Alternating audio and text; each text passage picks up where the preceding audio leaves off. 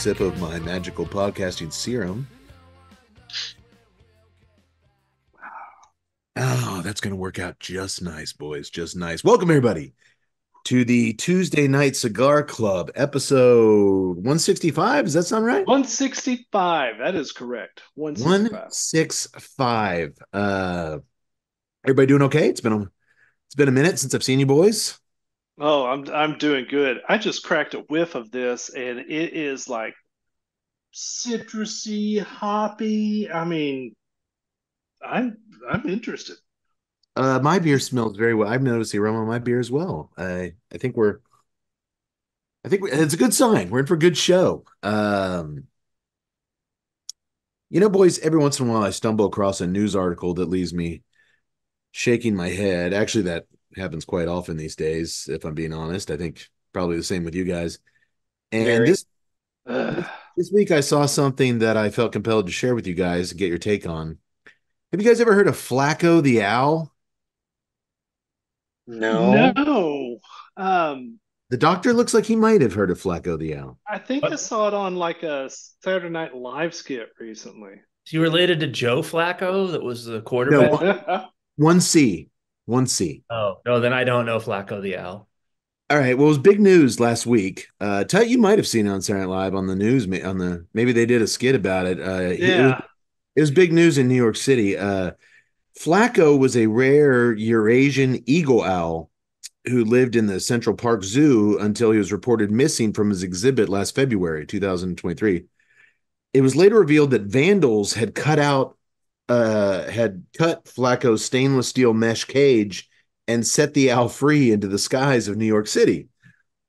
Against all odds, Flacco survived on his own, despite fears that his plush life at the zoo you know, he had fed and tended to by the zoo workers. Uh, they're worried about him, and they figured he was set up to fail out out in the wild.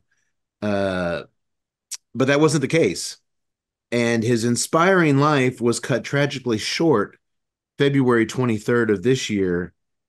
And here's a brief recap of the article I read, published uh, March 26th, so uh, about a week ago. Here's the headline.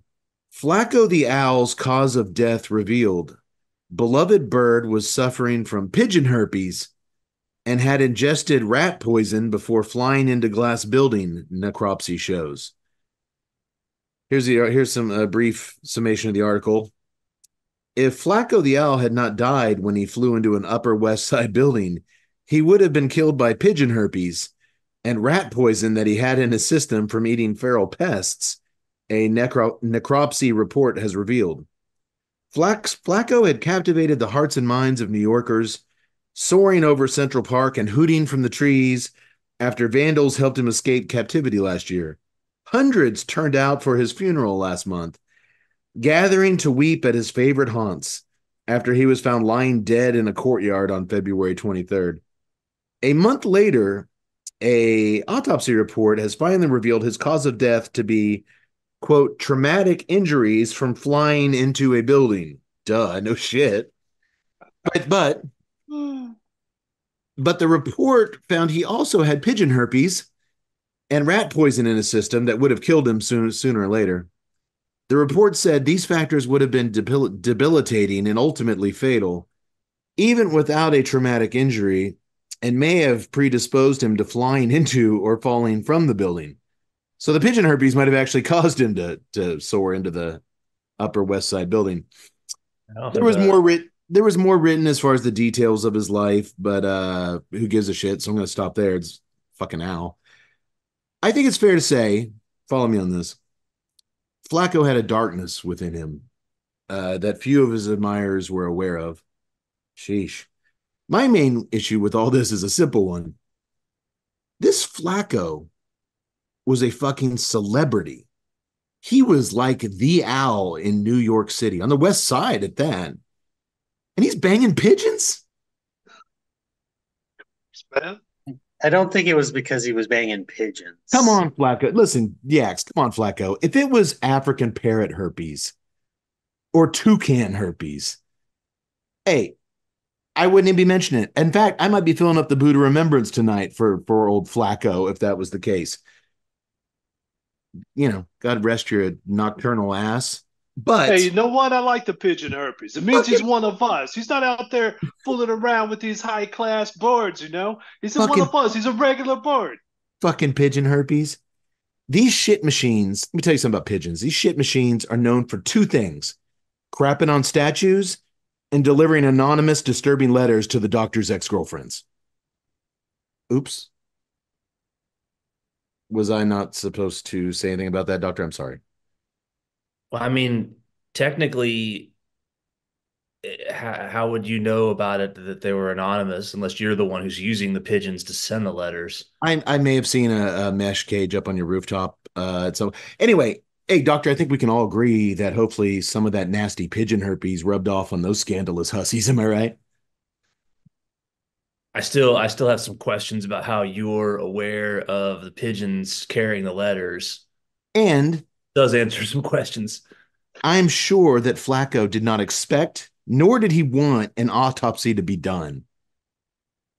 It's a fucking bird. You know, he's laying there on the ground, taking his last few breaths, thinking, you know, I had a good run. The important here, the important thing here is I'm a fucking bird who flew into a building. Happens every day. It's not like they're gonna cut me open and perform a fucking autopsy or anything. I'm a fucking That's bird. why. That's Well, my they can- thing. Is like, why? Why did you perform an autopsy? I mean, the bird hit a building. Thank God my legacy won't be tarnished by revealing my embarrassing pigeon herpes or my shameful rat poison addiction. They'll just put me in a shoebox, bury me a foot in Central Park, and that'll be that. End of story. Now, human beings, we just can't leave well enough alone. Well, we could have. It, it could have been murder. Murder has That's to right. be investigated. And what are they going to do then? Call in the CSI boys to follow the clues? Down, down, down, down, tick it down, down, down, tick it, tick it down. Start hanging, start hanging around, start hanging around the New York City Library, around the statues, asking the pigeons questions. Did you haven't seen uh, the latest show on CBS, CSI Owl Investigations? really could, man. It could. They, dude, you put that next to So Help Me Todd, and you've got two hours of TV. Oh. Well, look, I need you to I need you three dudes to promise me something. When I die, an I'm not making you autopsy. any promises now. When I die, an autopsy will not be performed. I was drunk as a skunk when I walked face first into that glass building. It had, you know what? I was drinking my usual four local four loco sour apple martinis, like I always do. End of story. Drunk ass died. Uh, and that's the only thing I had going on with me. The dude's BAC was through the roof, but he also had pigeon herpes. If I test positive in my autopsy for pigeon herpes, just know it's a conspiracy originated from other cigar media who are jealous of my good looks, my sharp wit. Case closed.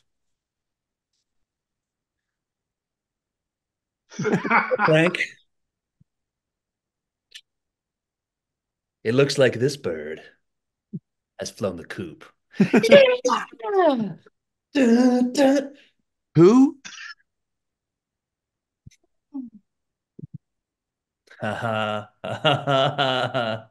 Oh, well, uh, Eh, Because because owls say who. yeah, yeah, they do. Well, not Flacco. He doesn't say anything anymore. Thanks to the pigeon herpes. Damn pigeon herpes. Thought that was the rat poison. I like I like how quickly Yak Boy jumped in. You know, you don't have to necessarily have sex with a pigeon to get pigeon herpes. You sure you sure got on that real fast. Just saying, science. Science is never wrong. Ah, you How do get you it on the, you get it on the you using the public restrooms. Oh, the owl could have just used a dirty public restroom and gotten pigeon herpes. Perhaps a, a dirty needle. Hey, maybe he was shooting up that rat poison. I don't know. I think I think there's a lot to Flacco's life once he got free that we don't know about. And well, Frank, sounds like a bird in the hand, two in the bush wasn't a euphemism this time. Yeah. Sorry, I'm, they'll get better as the show goes on and I drink more. I Just uh, cue up that saxophone in the background. You belong to. Concrete under your feet. Uh, okay. Well, that uh, I knew you guys would provide some invaluable insight into the story of Flacco. And uh, and no, I just want to make that very clear. He was no relation to Joe Flacco, the backup quarterback for the Cleveland Browns. Oh, is that where Flacco's at now? Yeah, he took him on a playoff run last year. Although they're the Browns, so they probably got rid of him. We don't reward greatness around here. Let's go with the guy that we've overpaid and continuously gets hurt. I got a feeling this season's going to be different. It's the Browns way. it's Uh, the Browns way. well, folks, uh, pigeon herpes aside, and I swear to God, if any of you say tonight's cigar has notes of pigeon herpes, yak boy, you seem to be real familiar. I was going to say, I, I, I, I detected an aroma of rat poison. well, I hope not too soon because I only dipped it in a little rat poison. and it's only in one of you or Tut's cigars, so tonight should be interesting. Uh, speaking of cigars, uh, that's what we do here, folks. Every episode, we pair a premium cigar with some premium craft beverages, hopefully, and we talk about a movie. So let's go ahead and introduce tonight's cigar. Now, uh, what you're going to see on the episode page on the TNCC website and Tud is holding up for you on the screen here is not the official banding of the cigar. This is uh we were uh provided these as a excuse me, uh Drew Estate does a event occasionally called Facebook Live, Freestyle Live, I'm sorry, on Facebook and YouTube, where they uh ship out you can, consumers can go buy these freestyle live packs. They usually include like a cigar stand, a lighter, travel case, and three or four mystery cigars. This cigar says FSL Freestyle Live March 2024. So last month, this cigar was a total mystery. And it was revealed by JD, Jonathan Drew, Willie Herrera, and the Drew Estate team on the last Freestyle Live that this mystery cigar, which by the way, on the Drew Estate uh, fans group on uh, Facebook, I was the only one to guess correctly, I believe. Um, yeah, everybody was saying this is a Connecticut Nica Rustica. Or some were saying it was a Connecticut Liga Privada, nine Connecticut. Uh, but I reviewed Nine Connecticut would be interesting. A few weeks ago, I reviewed the M81 Blackened cigar from Drew Estate. You can check out that review on our website. And I just happened to later that night smoke one of these mystery cigars, and there's some A little something similar. little some similarities there, which is weird because this is obviously a Connecticut lighter Mhm. shade cigar, and that is an all Maduro blend of uh, dark, scary Maduro leaves. But there was a, a saltiness and a mustiness on the back end of the retrohale behind the pepper that, boy, it just if I hadn't smoked them the same day, I probably would never made the connection. But sure enough, what you're holding in your hand, boys, it well, Yak Boy and Tuttle, Doctor, I don't know what you're holding in your hand. Hey, Oh, okay, okay. Uh, is the S84 Shade to Black by Drew Estate. Uh, which of course, if you're a Metallica fan, is a riff on hey, I use the word riff. Um, is a riff on their classic song from 1984, Fade to Black. This is the Shade to Black. And S84 is, of course, eight, 1984 is the year that the Ride the Lightning album came out uh classics metallica's sophomore album after kill 'em all right before master of puppets and i'm gonna let the the people that made the cigar tell you the rest about it um following the resounding success of drew estate's partnership with blackened whiskey on blackened cigars m81 maduro to the core in 2022 drew estate announces the new connecticut shade Wrap brand release and shipping of blackened S84 Shade to Black.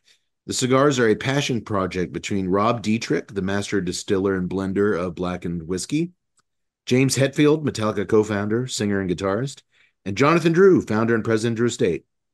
Hetfield and Dietrich worked closely with Drew, a friend of Dietrich's for over a decade, to create the perfect blend for the cigar.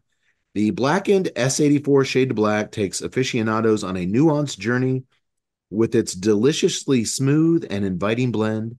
James Hetfield and Metallica shares this excite shares his excitement, stating, Shade to Black is more than just a cigar for us. It's a celebration of passion and a tribute to the craftsman who strives for excellence in their lives. In other words, this cigar is for the real ones out there, not the filthy perverts like Flacco the Owl with his pigeon herpes having ass. Not for the pullers and tuggers. It is a six by 52, exactly, Tut, not for the pullers and tuggers. It is a six by 52 Toro, Connecticut Ecuador wrapper. Now get this the binder and the filler are the same as the, the M81. Uh, Connecticut River Valley broadleaf Maduro binder, Nicaraguan Maduro, and Pennsylvania broadleaf Maduro filler. So, really, I'm sure they tweaked the ratios a little bit, maybe inside, but really, uh, component wise, the only thing new is the wrapper. So it'll be interesting to see, Tut. I know you've smoked a, a bunch of the Blackens. It'll be interesting to get your thoughts. I'm really liking this. Uh, there is, and there's something across that palate that I'm just not able to identify. And it's sitting like right on, you know, those two glands that you have on the very edge of the tongue. Uh, it's sitting like right there, and it's it's tasty, and I just can't can't figure out what it is. I was not expecting this. Uh, I've I've been kind of like on an uber rustic Maduro kick lately. I mean, just like the filthier, the dirtier, the better. Um, and yeah, man, that that shade on there just brings out a, a neat little zang to it. It's God, what what the hell am I tasting? There's some earthiness. I mean, there's some earthiness and a little sweetness on the cold draw. Yeah, and you get that beautiful hay smell on uh, before the, lining the, it up. The hay, the hay on the on the wrapper is uh, undeniable for sure. But then, yeah, but really just some some sweetness, little earthiness on there, and then I'm gonna fire it up. Yak boy, have you lit up yet? I have. No, I'm very much the same way on the the cold draw. The the just the aroma on, on the wrapper, all that, all what you just said, the hay, just very light. When I first lit up, I mean, just a, you know, it had a, a touch of, you know, the that's uh, spice. oh right man, now, I'm just trying to get it. Oh, this smells really good. And it's got good aroma pouring off foot as I toast things, get it going. Let me. That is fucking interesting. Oh, that's a nice crack cracking white pepper through the nose.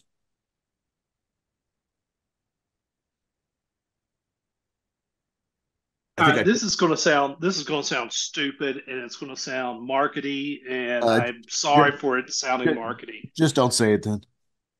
okay. No, I'm, I'm teasing. I'm teasing. All right, so you you, you in or you you take it in across the palate, you retrohale, and you let it sit. There's an aftertaste there, and I'll be damned if my if I my taste buds aren't going. You know what?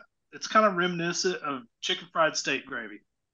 There's a bit of pepper that sits there on the tongue, but there's also a creaminess, and I I don't one, I don't get cream ever, and I it just that's what my taste buds are telling me. I'm actually getting a Salisbury steak uh, gravy sensation through the back of the retrohale. Uh huh. Yeah. yeah. So it, not not chicken fried steak itself, just the gravy. I was thinking more au jus, but that's nah, just the gravy, just the gravy. Man, that is so badass. I, I am going to say real quick right now. I, I was concentrating on the retrohale first here, and there is it, it's a much less uh pepper kick than the M81 mm-hmm. Maduro. Uh, it's a it's a It's a very distinct spice, but it, it's it's it's it's medium at best, and uh, it's nice.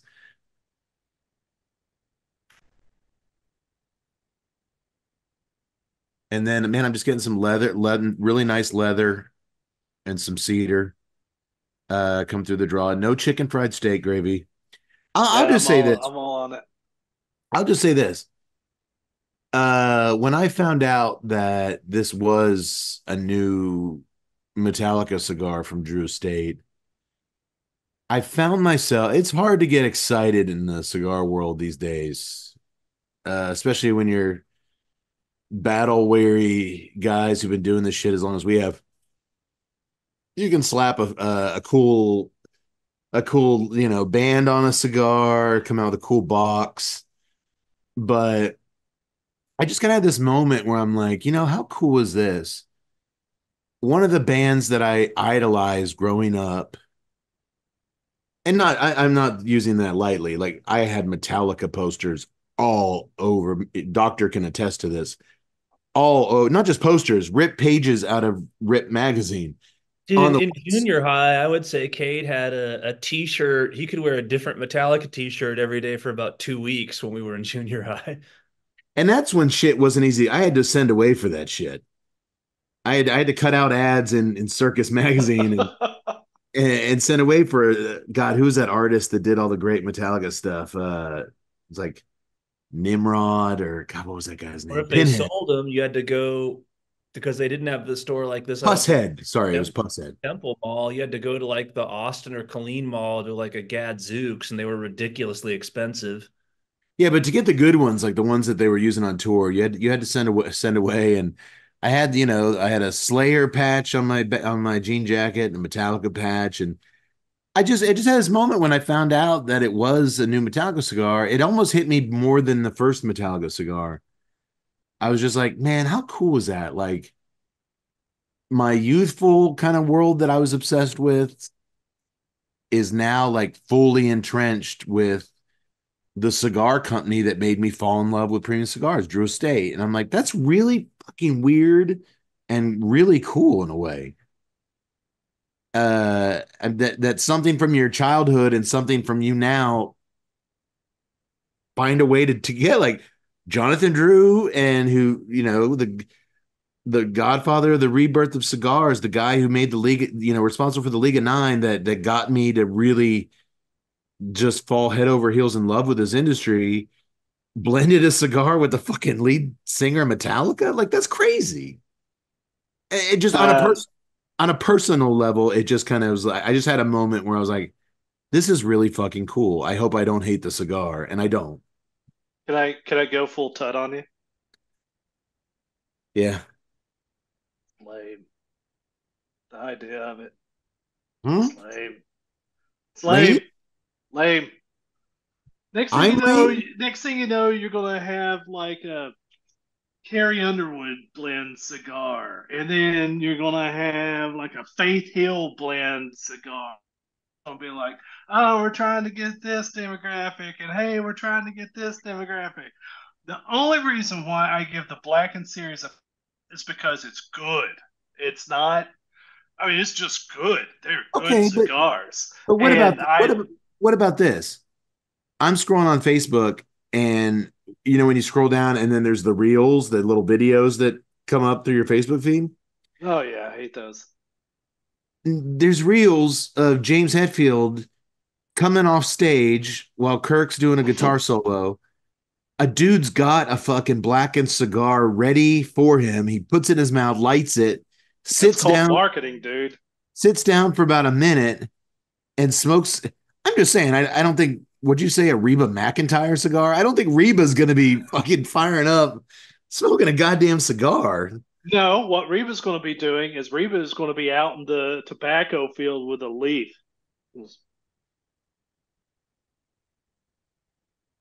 One chance leaf, don't let me down.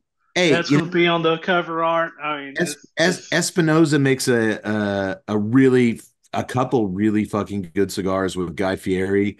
I I I happen to think they're phenomenal cigars. Guy Fieri does events all over the country supporting. Yeah, of course, Tut. They're gonna make. They want to make money. They're not doing this I- for fun. I know that, but like, like, okay, so if you tell me that you're in a collaboration with a Guy Fieri, I'm like, that's kind of interesting because that's a chef. He's all about taste and stuff. And then when you tell me, oh, it's- it's a collaboration with Hetfield, I'm going to be like, huh? Oh yeah, What? because yeah, That because Phil's not allowed to have any tastes. no, no, no. No, he is, but because I mean, it's like, Metallica- all right.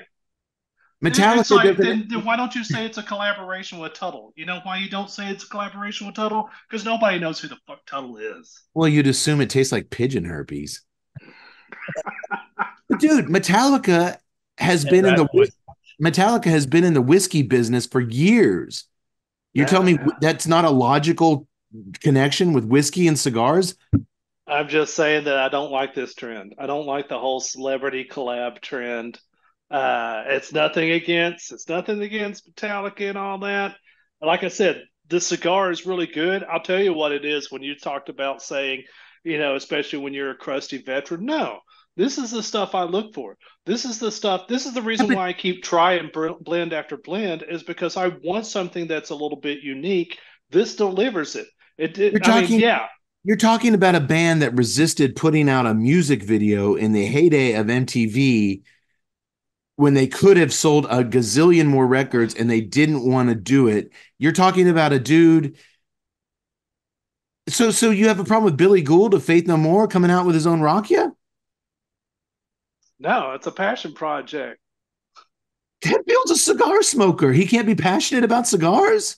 He doesn't No, he, need the to- money. he, to- he totally can. He God- totally can. I, I, without googling it, But how many how many other people are going to be out there just collabing? And I'm going to hold you to it. Every time I see a celebrity collab on a cigar, I'm going to be like, "Shut up and enjoy the cigar."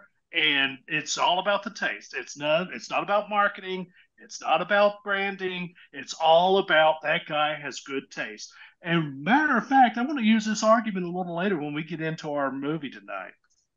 Well, I'd Well, like there, ahead- there were a lot of people just collecting checks in tonight's movie. That's for certain.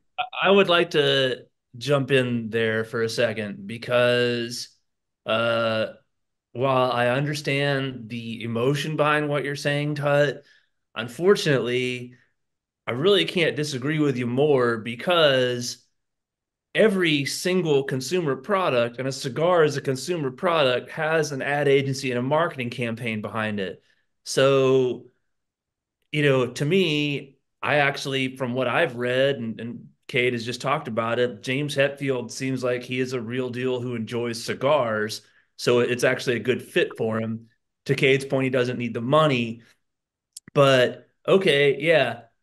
You know what? When I see uh, the Casamigos commercial and they show George Clooney on his motorcycle and he's out in the field with the Mexican workers and he holds up his glass of tequila. And it's like George Clooney's never in his life gone out into a field with a bunch of blue collar workers and all the tequila, but everything has a marketing campaign behind it. And I Guess mean, what? Casamigos is a wonderful, fantastic tequila, and George Clooney is a known heavy drinker. It But makes what, sense. What I'm, what I'm getting at is Drew Estate is wants to sell cigars and make money. So they found somebody they could partner with to market it. Of course, there's a marketing campaign behind it. I don't think, you know, if it's just like just be about the taste, not the marketing, then then that person's going to have a lot harder time selling cigars. No, they're not. They they that in the in this industry that that's all the marketing you need. I mean, at least to get you through one season, because eh, because they're coming out with new brands constantly. You don't have to try to maintain brand loyalty on these celebrity cigars. You just hit it, boom, go, and that's you know it's a shame. I'm not saying that's what Drew Estate's doing at all. I'm not saying that at all. This is a good cigar, but I, I it just Consumers, we are bombarded with images in order to try and brainwash into buying products, and that's been going on for 50 years. And why why would a cigar company that has the money to partner with a recognizable person be any different? I and I was I was just making fun of Clooney on the motorcycle. I was making fun of the marketing campaign itself. They absolutely ought to do it. Yeah, the, the marketing campaign for these I- show, the marketing campaign for the blackened cigars shows uh Hetfield sitting in a lounge with uh Rob Dietrich, the Blackened Whiskey guy, and Jonathan Drew I see it. smoking smoking cigars. Um, the guy's been a cigar smoker for years. I think to say that, I think it all just comes down to Metallica's a band that has said no to more shit than they've said yes to. That could have easily made them millions of dollars. He seems pretty fucking into this. So does Guy Fieri. He seems really in and he seems really taken with when once he stepped foot and dipped his toes in the premium cigar world holy shit this is a passionate fan base of millions and millions of people. I dig it. They look at cigars like my my people look at food as far as the components as far as the flavors like to say that just on the surface well that's disingenuous they're just in it for the money i don't think you can i don't think you can I do didn't that say that. I didn't say that. Not in this case. I'm just saying I don't like the trend of it. Because it's yes, okay, everything that you're saying, let's say let's say it's absolutely true. Hetfield is a cigar aficionado who's been dreaming of making a cigar blend for the last 20 years. He finally gets a shot. Hmm. Drew Estate brings it in. There you go. It's great. Now all of a sudden here comes J Lo, and she's doing a collaboration with Sweet Jane. And it's How- how- the J how Lo is this different? How is Rose. I- I'm- different? I'm Michael get- Jordan doing Gatorade commercials 30 years ago. What's how's how's this any different from that? i'm It's And- not and other than it's other than I don't like it. but I can sit jordan there and say I don't like sitting there watching J Lo in a Fiat commercial because I know J Lo's never sat in, so in sat inside a Fiat in her life. Well, life. she also didn't have any input into the engine of the Fiat, and Jordan had no input to the ingredients of Gatorade. They actually show Hetfield with samples of you know going through the original Blacken, trying to find something that that was what he was looking for. Now, I'll give you an example of one to me that screamed the minute it was announced. I was like, "This is this is such hype," and I, I'm not gonna say hype because it wasn't like Illu- Illusione did a cigar maybe two years ago with uh, uh, Jeremy Piven, I hear he's a big cigar smoker. and it was Uh, like it was like an eighteen dollar cigar. It was this expensive cigar, and he he went to a few a few events. Haven't heard about it since. Haven't heard from Piven about it. Haven't heard about the cigar ever since. Um, there and there's several there's several instances of that. A lot many with athletes though they'll do ath, you know athlete based cigars. This to me, M81 was successful. Went back to went back to the drawing boards. Came up with a, a an alternative. Hetfield, you know, seems excited about that. He's not doing. These aren't Metallica videos that I'm That's- watching of that- him smoking. These are fan videos of him in the pit having a smoke. But that's one of the things that makes this project a little bit different is that they've come back for a second iteration or or a second product in this line. It wasn't just a one-off money grab. If you would if people would have criticized, if people would have criticized the original Blackened as a money grab, I would have had no defense for it because, like you said, it happens a lot. But the fact that it was successful, popularized, and they're coming back with a different iteration, you know, now it's not just a you know take the money and Yeah. run. And, and Guy Fieri's on his like sixth or seventh, and he's at PCA every year, and he's around the Yeah. country events. I, I think there are cases that you what you're saying rings true, Tut. And I agree. If there becomes a fucking Reba McEntire cigar, I will be the first one to stand up and say, no, no. Hi, I'm Dolly Parton, and I only shoot up Oklahoma black tar heroin. And that's fine because Dolly is a national treasure. She can do no wrong. Yeah, see. What if she had It's not like pigeon? I fall for this with products I buy. Yaks, I'm not saying she did get pigeon herpes, and I'm not saying she didn't. But you Yes, did. Dolly. Her that killed Flacco. her people killed Flacco. He knew too much. On his deathbed, he's laying there after he smacked into that building. The answers are at Dollywood.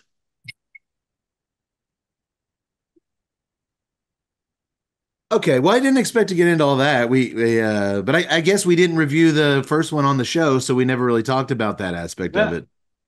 I also like Uh, it because we we get to flex our our our tobacco roots. Uh, man, it's smoking. Look at that ash. By the way, uh, it is transferred. In, oh yeah, that looks nice.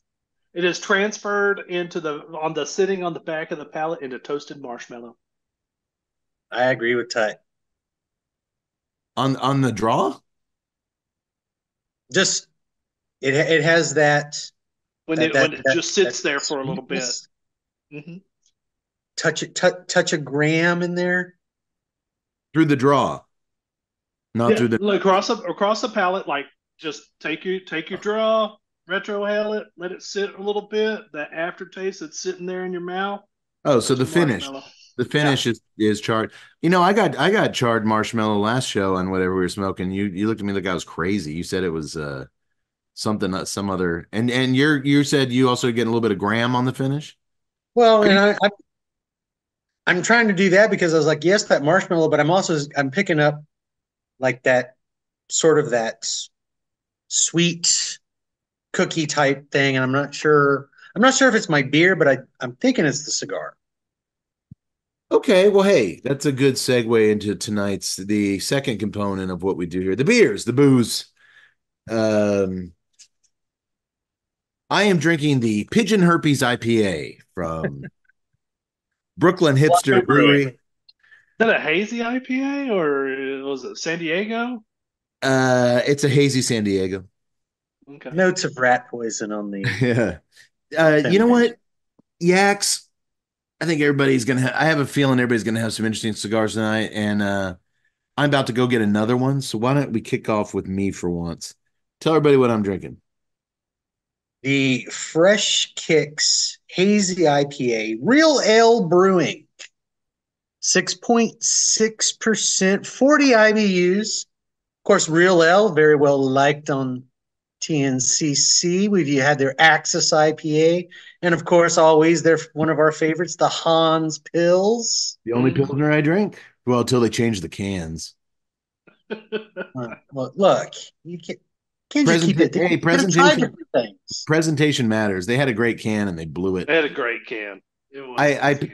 I picked tonight's beer because we are going to be discussing the new Roadhouse movie, which I was hoping hey, if you're going to make a new Roadhouse, there's got to be some fresh kicks in it, right? There's a lot of kicking in Roadhouse, and well, there was nothing fresh about the new Roadhouse, and there was no literally almost no kicking.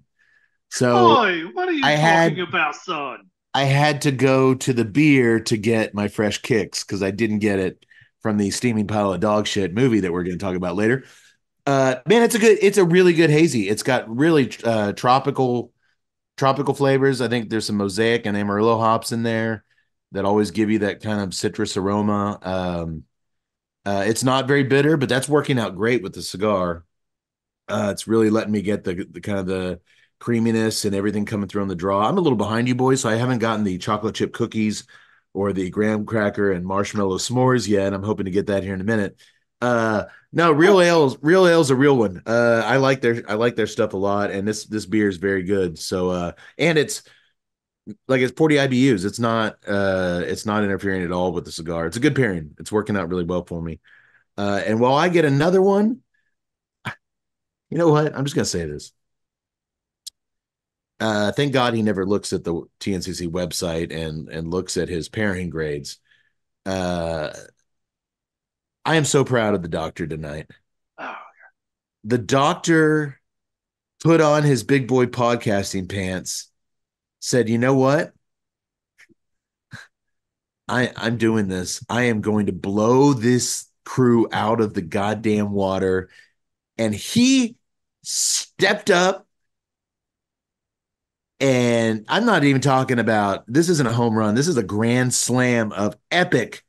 Now, granted, I can't say pairing proportions because he's not he's not able to smoke a cigar with us, but film pairing proportions so technically, he can only get about a D plus. But Jesus Christ, I am so proud of you, Doc.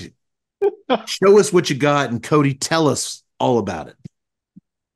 The good doctor is having proper twelve, proper twelve Irish whiskey, made in collaboration by none other than Conor McGregor himself. Another collab. Conor McGregor of the. Oh yeah, I'd like to hear you talk shit about his collaboration. I ain't talking shit about Conor McGregor at Goddamn all. right. Goddamn right, you're not. Uh, going back to uh, 2018, uh, it uh, is a a blended uh, Scotch or uh, uh, Irish whiskey uh, uh, from single malt. Uh, it, it is a uh, was named after uh, the proper 12 actually comes from uh, Dublin 12, which is a postal code area for Dublin, of which where uh, McGregor grew up, uh, which is uh, named Crumlin. So it it goes back to his where his youth. Okay. So I named it that.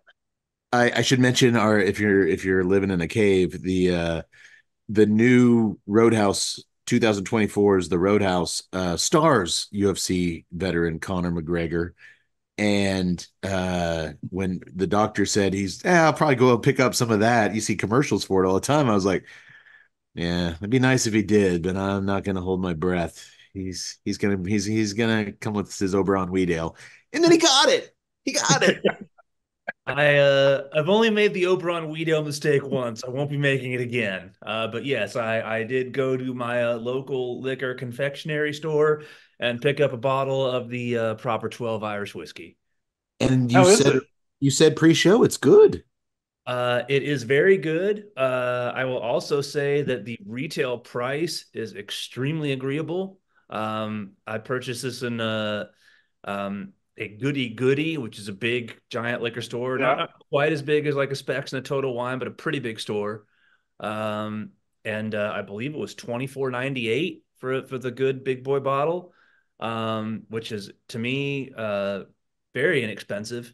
Um, and uh, you know, obviously there's different types of whiskeys. You have your Scotch, your bourbon, and your Irish whiskey. Um, this is this is very smooth. Um, I have been putting a substantial amount of ice in it, but really just cutting it, uh, just cutting it with a little water. Uh, really, just you need to cut it with something uh, rather than drinking it just over the ice. So just cutting it with a little water, but it it is extremely smooth. Uh, it's got that kind of Irish whiskey smell to it, but um, uh, I I wholeheartedly uh, recommend Conor McGregor's Proper 12 Irish whiskey if you get a chance. Now there is there's a there's a second flavor. There was some kind of like apple flavored one. I don't fuck with any of that. I ain't doing that. I've never done that with my whiskeys. I know Crown Royal has like an apple flavor. I, I don't do that, so I can't vouch for the apple one, but just the regular the regular Irish whiskey one. Um, if you are a fan of of whiskey, uh, I wholeheartedly recommend it, and I would say that ice cubes and maybe just a little a little bottled water or a little mineral water. Uh, I, I can't imagine. I, I know some people like to mix it with ginger ale, but man, this is really smooth. I would just say some ice and, and water would be all I would cut it with. Uh, it, it is very tasty. I'll I'll definitely give it a try because I mean it, it sounds interesting, but I'm actually more more interested to try the uh, Conor McGregor Reba McEntire collab on the uh, Apple the Apple Proper 12. There Yeah. is there is no such product. There is an Apple product, but I, I do not believe that Conor McGregor is, is partnered with with Reba McEntire on, on anything. Um, and I think it's safe to say because he seems like one of those dudes that kind of pays attention to online trolls and can kind of get get get baited into some like I I don't think there's any guys with with some sense in their heads that's gonna shit on his whiskey. Ugh. Are you are you suggesting, Cade, that I am being disingenuous in my No, praise? No, I know I know you. I've known you for 40 years. I, I know that your your opinion is is is solid as the day is long. Uh, I'm saying other other online uh, beer, cigar, film podcasters could probably uh, maybe be a little intimidated to criticize. Uh, but you know what? I, I'm going to criticize the hell out of the movies, and so I guess I was about to say other cigar other cigar podcasters, yes, but not the TNCC. TNCC, big huevos. yeah, yeah. Take that, Reba McEntire. Yeah. Uh, well, I'm, I'm glad it's good, and and I and I, I'm glad you picked it up. I, I'll do the same. I'll give it a shot. I Uh, got that yeah, stupid Also, fancy I should like to point head. out too. Uh, you know what, Cade? Yeah. It's working. all right. All right, you sons of bitches. uh, Tut, what are you drinking? What am I drinking, Yaks? He has the Secret Beach IPA. Meanwhile, brewing out of Austin, Texas. Meanwhile, in Austin, Texas, Oh god. Which I was really hoping that they actually did have a beer called Halls of Justice, just so they could walk drink it. Meanwhile, the Halls of Justice. I'm there's drunk. no there's no beaches in Austin. it's a secret beach. There's there's some beaches, little beaches at Lake Travis and other places. That well, so you got to have one to go to Hippie Hollow and places like that, Uh, or what they used to call Hippie Hollow. I don't know what it's called now. It's, It's Yeah, not- it's called Trump condos. uh, back in the back in the '90s when we were walking in barefoot down to Hippie Hollow, I'm just just between us boys. I I spent a weekend down there in college, and I came back with a wicked ass case of pigeon herpes. Pigeon herpes. if you all do it. Oh. I was smoking but now weed. the, the I was Secret smoking- Beach. I was It's- smoking some primo grass with this cool owl named Flacco. Asked me if I wanted to freebase some rat poison. I was like, that's not really my thing, man. And he was like, all right. And then he gave me a drink. I didn't see him pour it, but I got a little woozy afterwards. And three days later, I test positive for fucking pigeon herpes. Wasn't the problem though that that grass was endorsed by former presidential candidate Bob Dole? uh, it was the 90s. Uh, uh, is it good, Tut? Yes. Oh, Yes, you know well, what? It, it does- really it is. is described as as having uh, marmalade, blueberries, and the devil's lettuce. I don't get any of that, but I do taste the devil's lettuce. You're getting Oh. marijuana in it? No, I'm not getting that. I like I'm like not this. quite sure why anyone would describe it as the devil's lettuce. Dude, I love this. The uh goat I looked when Tut show, sent you the beer he's doing, I looked it up and on their on their webs, this is so this is the most Austin fucking thing I've ever read. Goes well with like food pairings, Uh-huh. Pea soup. California burritos, Takis Fuego, which are these little spicy chips that my kid eats, char grilled vegetables, Oh, please tell me South Korean street tacos. Lazy beach afternoons. Char grilled vegetables. Give me a fucking break. It's actually really good. Uh, it, it's light. It's got a great, great citrus smell uh, coming off of it. Uh, it's not too citrusy, but it's definitely it's got a presence there. Uh, the hops. I'm not an IPA drinker, but to me, I would I would put it like a 55. You know, it's pretty. It's pretty. You know, it's kind of hoppy, but it's not really that. It's not bitter that much. It's got a little bit of a bite. Stop laughing, Mincy. Uh, I just find it. I just find it good. Maybe that's the devil's lettuce talking. I uh, that is the devil's lettuce talking. Uh, is it pairing well with a cigar? I'm giving it lots of space. Uh, the cigar has a lot of interesting stuff going on. I don't want the beer to push it out of the way, and it it kind of it kind of can. You don't want that Uh, marmalade to interfere with your your your. Yeah, your I don't want marsh- blueberries and le- on the cigar. I don't want blueberries and let uh, devil's lettuce mixing in with my toasted marshmallows, man. I mean, come on. Okay. Well, finally, Yak Boy, our resident beer expert and handsomest bartender at O'Brien's Irish Pub in downtown. Historic. Bless you. Excuse me. Bless you. Bless you. Historic Temple, Texas. Guys, I have about two hours left before my allergy pill totally gives out. So uh I, I I'm trying to do the pollen here in Central Texas. I walk out It's to my truck. I literally walk out to my truck. Sounds like pigeon herpes to me. I, I may have partaken in some of the devil's lettuce earlier. Uh, mixed. i i do have pigeon herpes, um, and there's no shame in that. Sounds Maybe fishy. maybe you should look in the mirror, guys. there's a, there's a little shame in that. I'm, I'm oh, I, just- no, no, yeah, I was bluffing. There's a lot of just saying. shame. It's the worst thing you can have. Uh, I don't. I don't want to be known as the weird dude who did stuff with pigeons. Uh, I hey, I was on the roof of doctor's office. I saw the cage with all the pigeons. They had these little messages. Abdo was there, gave you some dole pills, and there you go. I was just gonna read the little messages tied around their necks, and one thing you know, I had had some Chianti, and I woke up with pigeon herpes. Wasn't the experiment that I was intending, but uh, experiment nonetheless. Uh, who? uh, Yak boy, what are you drinking? Well, from Melvin Brewing out of Alpine, Wyoming, I am having the Asterisk, the Asterisk Imperial IPA. Just like our movie needed an asterisk in the title I to let us know to let us know that in title only, this movie is only similar in title only. Brilliant. Brilliant. Uh, you you may have just earned you a C plus, pal.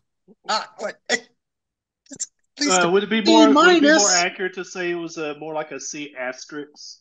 It's he, he might get an asterisk. Uh, man, that's a good call. Uh, man, have we ever had a Wyoming beer before?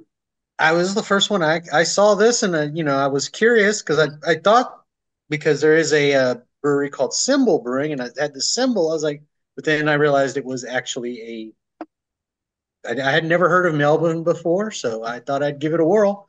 I like the band, the Melvins. I don't know if they have just Melvin Brewing. Oh God, they they're like the most authentic hard. They've been in the game for decades. If if they came out with a cigar, Tut would lose his fucking mind. Uh, uh but anyway, um, yeah, Melvin's rock. Uh, so is it good? It is nine percent. So, like I said, but it is an imperial IPA, so it, it's pretty high up there. It says it's like eighty IBUs, but I would probably put knock that down at about fifty or sixty. I find but most it does have a really good uh, sort of citrus component to it. It's not hazy, so. Yeah. But like I said, I was concerned because I was my the way it was interacting with the cigar, whether or not it was because of that citrus component was it making the cigar was it giving it a sweetness? Because it had that that it had that strong hay sort of you know bit of earth smell to it. I didn't know if the this this adding a sweeter component was going to interact with that on the cigar. I don't think it is. I'm still getting a really strong sort of sweetness from my cigar. And i don't know if that was i don't think that's the beer no, there's definitely a sweet component, especially on the retrohale, and then right after the retrohale sits on the palate a little bit. Uh, yeah, that that the pepper is, you know, very very nice, not overpowering at all. Uh, the pepper is uh, very consistent. Yeah, it's uh, man. I'm sorry, I don't. I interrupted your beer talk. Go ahead. No, no, I, that's where I. was. That's just what I thought. Well, that's, you know, that's weird that I, it's that's weird, Yaks, that it's citrus forward. I've found with most of the Imperial IPAs, they tend to go a little malty and they're they they tend to pour a little darker. Uh it's it's and it's I know that, oh yeah, see that that looks great. See, I these terms are so there's so many breweries calling shit, and there's no like law of the land. You can call it whatever the fuck you want to call it. And it's like I would say a good three fourths of the Imperials I've had have been darker and maltier, and really, like you said, Yaks lower on the bitterness than what they claim to be. 89. No, they're usually in the 60s. And man, for an IPA lover, I tend to kind of steer clear of the Imperials because they are too, they are more malty and lose some of the the stuff I like about IPAs the bitterness, the the the floral, the citrus, the you know the bright stuff. Um, but it sounds like you may have found a diamond in the rough there, my friend, out of Wyoming of all places. I know. And of course, their tagline for if for their brewery is remember, if your beer is not madness, it's not beer. So I'm not exactly sure what's going to happen don't think it'll be a pigeon herpes though. I, As French brewmaster Jacques Pierre once said, "Every beer needs a moment of madness." You know, boys, I actually, as as Yaks was describing his beer,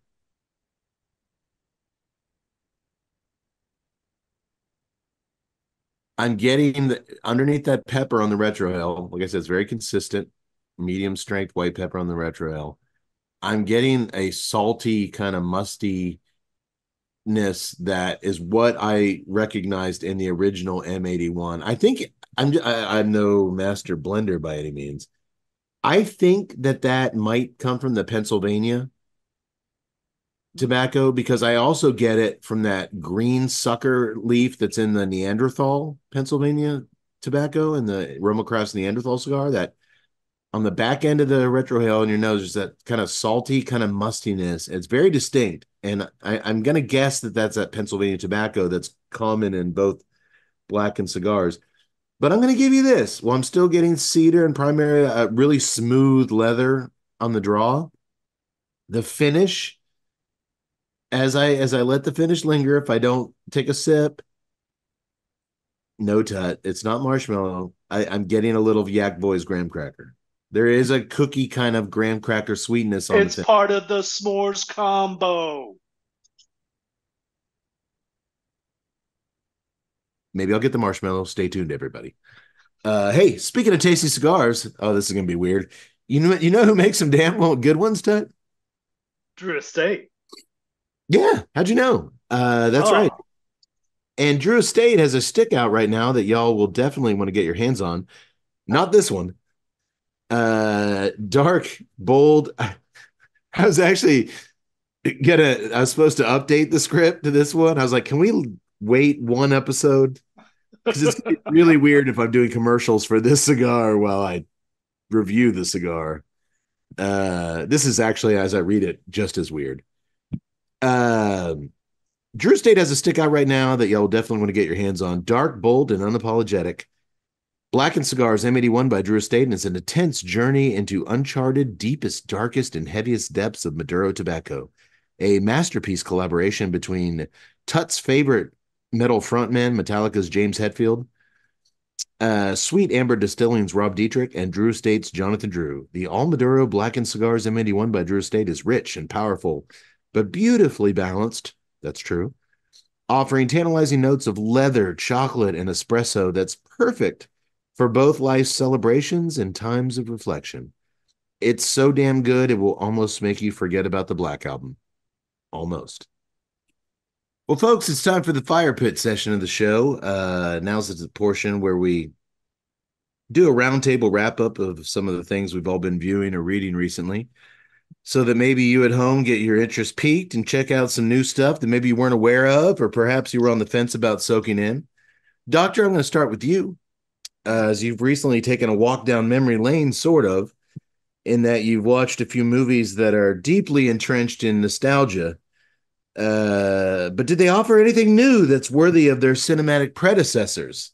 That, Doctor, is the million dollar question. And I think it's safe to say it's not too soon to tell. Uh, it is for once, Cade. It is actually. I can't even believe I'm saying this. The fissure might open up in the earth, but it is not too early to tell. I think this might be a first. It's not too soon to tell. Do- uh, doctor, I'm going to start. You recently checked out Indiana Jones and the Dildo of Destiny. I did. Yes. Uh, the Dial of Destiny. Dial of Dial, Destiny. dial, dial. That was a movie I watched with my other podcast. Uh, We'll be discussing that tomorrow night. I'll be discussing that on the Thursday night show. Um, Doctor, what'd you think? Uh, I, I got to admit, first two movies, classics. I will admit, I, I don't go back to Raiders Lost Ark and Temple of Doom very much. Uh, if I catch them on TV, I'll watch a little bit and it brings back happy, warm memories. I was not a big a fan of The Last Crusade, as as I know you three were. Thought it was an equal uh, entry, uh, a worthy entry into the original trilogy. The Crystal Skull, man, was just god awful, uh, un, un, un, uh, unreasonably bad, um, and it certainly turned me off. And I kind of hope they would never dip their creative uh, pens in the ink again, but they did. I mean, Harrison Ford's what his 80s now, I believe he Yes. has just turned 80. Yeah. but I was surprised to learn, Doctor, that it was a step in the right direction and a an improvement upon the Crystal Skull, right? And and that statement doesn't say a whole lot because I'm It with you. Oh, It- it- I know it doesn't, but you actually you actually got something out of it. I did. I because of the crystal balls. Again, we'll be talking about that tomorrow. Uh, no, because of that one, um, I still have uh, the Disney Plus streaming service, and and it's on there, so I didn't have to pay anything extra to watch it, and it had been there for a little while now, and uh, I guess I did have some trepidation about uh, watching it just because of how thoroughly I did not enjoy the last one. I do go back and watch the original three.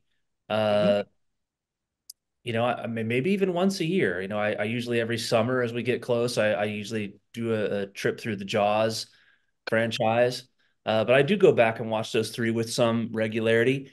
Uh, so I actually, right before I went on vacation, um, I was actually kind of getting bothered pretty badly by allergies. It felt like I had a cold, but um, so it was a Sunday evening a few weeks back, and I decided to take the plunge on it. Uh, I enjoyed it. Uh, it's a fun movie. Um, it uh, you know nothing at, this point. I can watch it without making any kind of comparisons.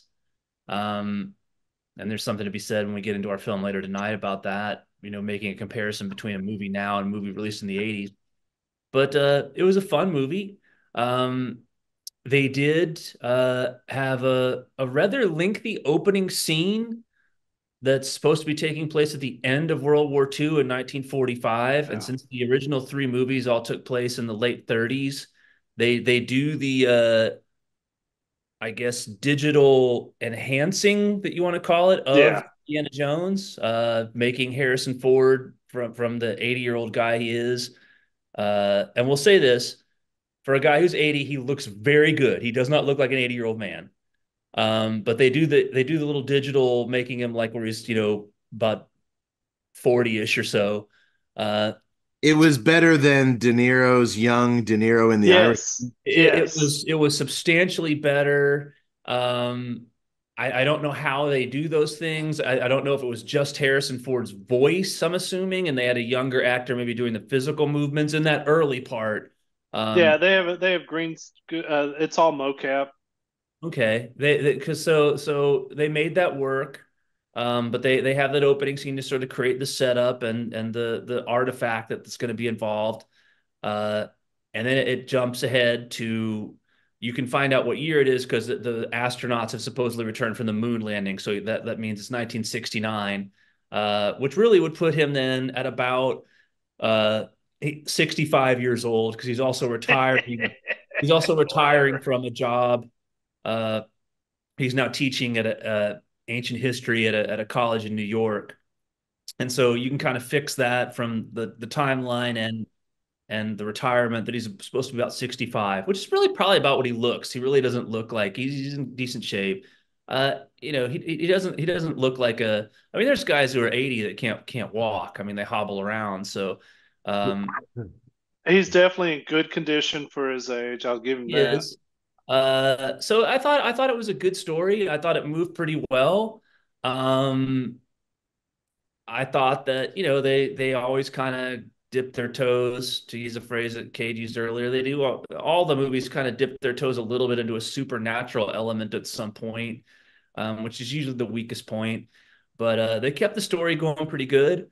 Um, if there's any one fault that I, if you want to nitpick at, it's the fact that even if we're going to buy him as a guy in his mid 60s rather than 80, he's still really running and jumping off of jumping in and off of moving cars and trains and, and all this kind of stuff. And uh, at one point, he does make a comment like he's climbing some wall with this this young young British chick that's like a daughter of an old contemporary of his, and he he kind of stops and he makes some sort of comment. She's like, "Why have you stopped?" And he's like, he says a comment like, "My shoulders are wrecked, my vertebrae are collapsing." He's like, "I I got a plate in my knee." He does, he does kind of comment on it.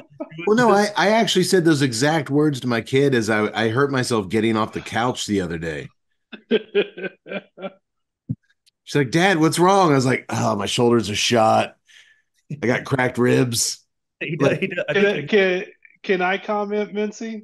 Please do. No, but, but, the, but the thing is, she was like, "Oh, like, how'd you hurt yourself?" I'm like, "Just now, getting off the couch." That's how I recommend. Overall, I do want to hear your input, Todd. I say overall, I enjoyed the movie. You know, don't you don't go back and compare it to those flicks from the '80s. Uh, it it it definitely gets the the the Crystal Skulls taste out of your mouth. Um, if you look at it as a standalone pick, uh, a standalone flick. Um, uh, so yeah, it, it, was fun. It was a fun movie. I, would recommend it if you haven't seen it yet. Okay. I uh, I I want to agree with you on on a lot of things, and the only thing that I would do is that you know you don't need Harrison Ford doing a lot of the action sequences. You know, he first of all, it's laughable to try to pass him off at 65. I think he looks good for an 80 year old, but I think he also looks like an 80 year old too. Uh, he walks like it. Uh, there's only one scene where he's actually shirtless, and the dude looks good. I hope I look like the, it, that, you know, at 65 versus 85. Yeah, he, has, he has an ab outline. Yeah, yeah. No, I mean, it's it, it looks good. Yeah, Tut, I think Tut's a rough looking 65. It's true. I just turned 50.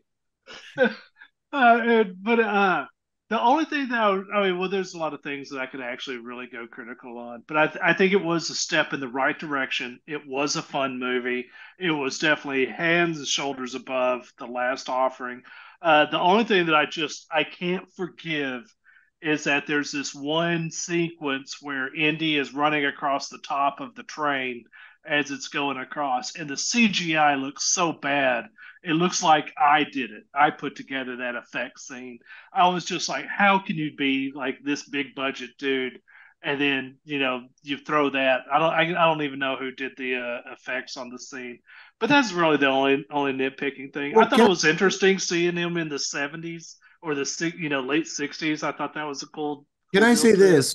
As someone who hasn't seen the film, can I say that one, I'm glad to hear that they turned it around and maybe I can't imagine they're going to do another one when he's in his 90s, but if, if uh Indiana Jones and the colostomy bag of justice.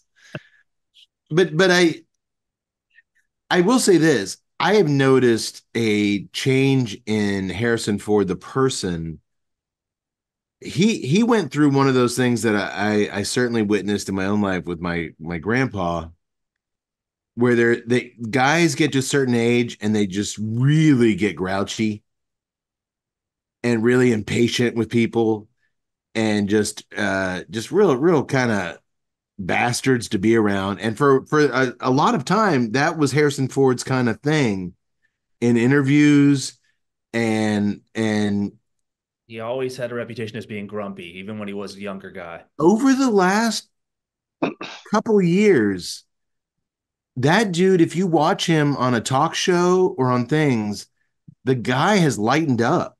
I think he's kind of at that. At, he he kind of turned a corner in his old age, where he's making jokes about Star Wars, where before he wouldn't even really want to talk yeah. about Star Wars. He's making light of himself and his his own kind of image. And I think a lot of that has he has a younger kid, uh, not younger, he's probably a teenager, but I mean, I think I think there's some things in his life that when you marry a younger, well, he's married to Ally McBeal, uh, Calista Flockhart, yeah, who's still a very sexy, vibrant. Uh, she's about our age, I think, oh, and huh? She's old. She's way older than that. Is she? Is she in her fifties, bro? She might be 60 now. No, no, no, no. There's no way. She looks great. But anyway, he's got a kid who's who's a teenager. He's got this younger wife. He just seems to be having more fun with his career, his legacy, and talking about it and doing things. And I it sounds like maybe that aided this movie in that you know, if you're if you're going to be still be doing these movies at his age, you you better at least be having fun. I I turned a corner on Harrison because like I, I was just like I was in that camp. You know, Harrison was always grumpy, and y'all pointed it out, and I, I started watching him. I'm like, dude, man, Han's kind of being a fucking asshole, and uh, so I just kind of I I just kind of you know kind of started brushing him off. but I turned the page on him uh, in the Expendables outtakes, where there's this Oh, one outtake where he was like, "You know who killed them? Me. I did that." And it was just this fun little riff, Yeah, and Stallone said he was. scene. Stallone said I he was. it. I I forgot he was in that. Stallone says fun. That I I just looked up Doctor. We are both right. Calista Flockhart's fifty nine, so she's almost in her sixties, but she looks. She still looks dynamic. Uh, she was really good. She did a run on the old Supergirl series. Remember that, Yanks? Yeah. Where she, she was the publisher of the Daily Planet, and uh, she was Cat so good in that. Yeah, she was so good in that. Um, but anyway, okay. Well, you know what? I'm gonna watch it. I have Disney Plus, and other than fucking Bluey or whatever the hell my kid watches on there, we never get our money's worth. I'm not watching any of that Star Wars crap. So I will watch Indiana Jones and the Dildo of Destiny. Dude, you have Take on it. What, Tut? you have to watch Ahsoka, man. It's the Oh, second you best like character in the entire franchise. Hey, I'm sorry. That Boba Fett series really rubbed me the wrong way. Uh, Understandable. Understandable. But then get this: the doctor decided to go another. He he he, he shook the dice and was like, "I'm going again." Indiana Jones paid off. I'm gonna I'm gonna roll the dice again. He didn't stay. And the other night on uh, I think it was streaming on uh, his cable network. He uh, he watched Ghostbusters Afterbirth. It's afterlife. Afterlife. After, Afterlife. Sorry, sorry. Uh, and not the new one that's in theaters. I think that's Frozen Empire. Right? Uh, this one came out about three years ago, 2021, uh, starring uh, one of the the kids from Stranger Things and Paul Rudd. And again, I don't think the doctor regretted watching it. Doctor, am I right? That is correct. Um, kind of watched on a whim, just because, like you mentioned, I saw it was. Uh, I have a, in addition to the multiple streaming services that I pay for and don't get my money's worth out of most of the time, other than Prime and Shudder. Uh, I have Spectrum cable and saw that they occasionally have movies on there that are are streaming. Uh, so I, I saw Ghostbusters Afterlife was there, and I took the plunge on that. Um, I would. Uh, I'll be honest. I never. I never saw the. Uh, the Ghostbusters movie with the female Ghostbusters, the one that I Terrible. Absolutely terrible. and, and I, I literally lasted less than 15 minutes. I didn't- watched the whole thing. It was just, and, and that's not sexist. It's not. It, know. it was I just a bad movie. It was just a bad movie. It was. It, I- it it did not follow the tone of any of the previous movies. They tried to they basically had tried to make it a musical. I was like, this is not. It's like watching like Ghostbusters cartoon. It, it's and not. I love musicals. And I love the Ghostbusters cartoon. No. No. I actually uh, am one of those people that, while the, obviously the first one is a classic motion picture from the '80s, I actually got a kick out of the the sequel from I think '89. Uh, Nothing wrong with it. Nothing can't wrong with the the candle sequel. to the first one, but I actually got a kick out of it. Has some good stuff in it. Um, so this movie, uh, Ghostbusters Afterlife, I, I also thought, uh, kind of similar to the description I gave with with Indiana Jones. It was a fun flick. Um, I enjoyed it. Um, you know, Paul Rudd is one of those guys. I, I, you know, I know he he went and did the Ant Man movies and probably made a bunch of money. I, I've never really seen him in anything. He's been in some bad flicks. I've never seen him where I disliked him. Um, he's playing just a, a school teacher in the small town in Oklahoma. Um, a quick setup. It's it's the the main character. Well, one of the main characters is a, a single mom, and, and she's supposed to be the the estranged daughter of of Egon Spengler, the Har- Harold Ramis, who has passed away in real life. So they kind of do a quick scene with a CGI double where they show him passing away because he's already been dead for several years. Uh, and then and she moves with her two kids to this town in Oklahoma, to this dilapidated farm that that he owned. Um, and, and then there's a, you know, without going into it, obviously there's a there's a ghost story going on there in that town. Uh, and Rudd is the local high school teacher that, that befriends their family. It- it's a fun movie. Um, you know, it kind of it, it had a good pace to it. There's there's some parts of it that are really slow burn. Um, it's fun. Uh, if you're looking to see in, in Ghostbusters Afterlife, I don't know what the Frozen Empire one holds. Uh, if you're looking to see the remaining three surviving Ghostbusters of Bill Murray, Dan Aykroyd, and Ernie Hudson, they are not in this movie very much. Uh, they're only in it for for a couple of scenes towards the end. It's mostly, and that's not a spoiler. It really, I think you kind of get that if you watch a trailer. Yeah. It really doesn't include them very much. Um, and uh, I still don't think this is a spoiler. I just I got to get it off my chest. I think I mentioned this to Cade. Uh, uh, I'm going to be truthful about everything later on. Um, I would I would be afraid of of Conor McGregor. Uh, you know, I don't think he's going to watch the movie and try to find my apartment and, and or watch our show and try and find my apartment if I disagree with anything. Uh, and it turns out I don't have anything bad to say about him. I'm not worried if Bill Murray wants to wants to come get some. Uh, you know, I, I'm pretty sure I can take him. Um, I, I like Bill Murray. Boy, I, I've mentioned it briefly to Cade when we were talking about this. Did he just look totally disinterested uh, when he showed up? Man, he just, it, it, was, I don't know if it was poor writing. Uh, I know that Murray is notorious for being a guy who ad libs, and he knocked a game full of grand slams when he did that through the movie Kingpin, but that was almost 30 years ago. Uh, I don't know if he's ad libbing and reading the lines. He the scene the scene with those guys is just bad.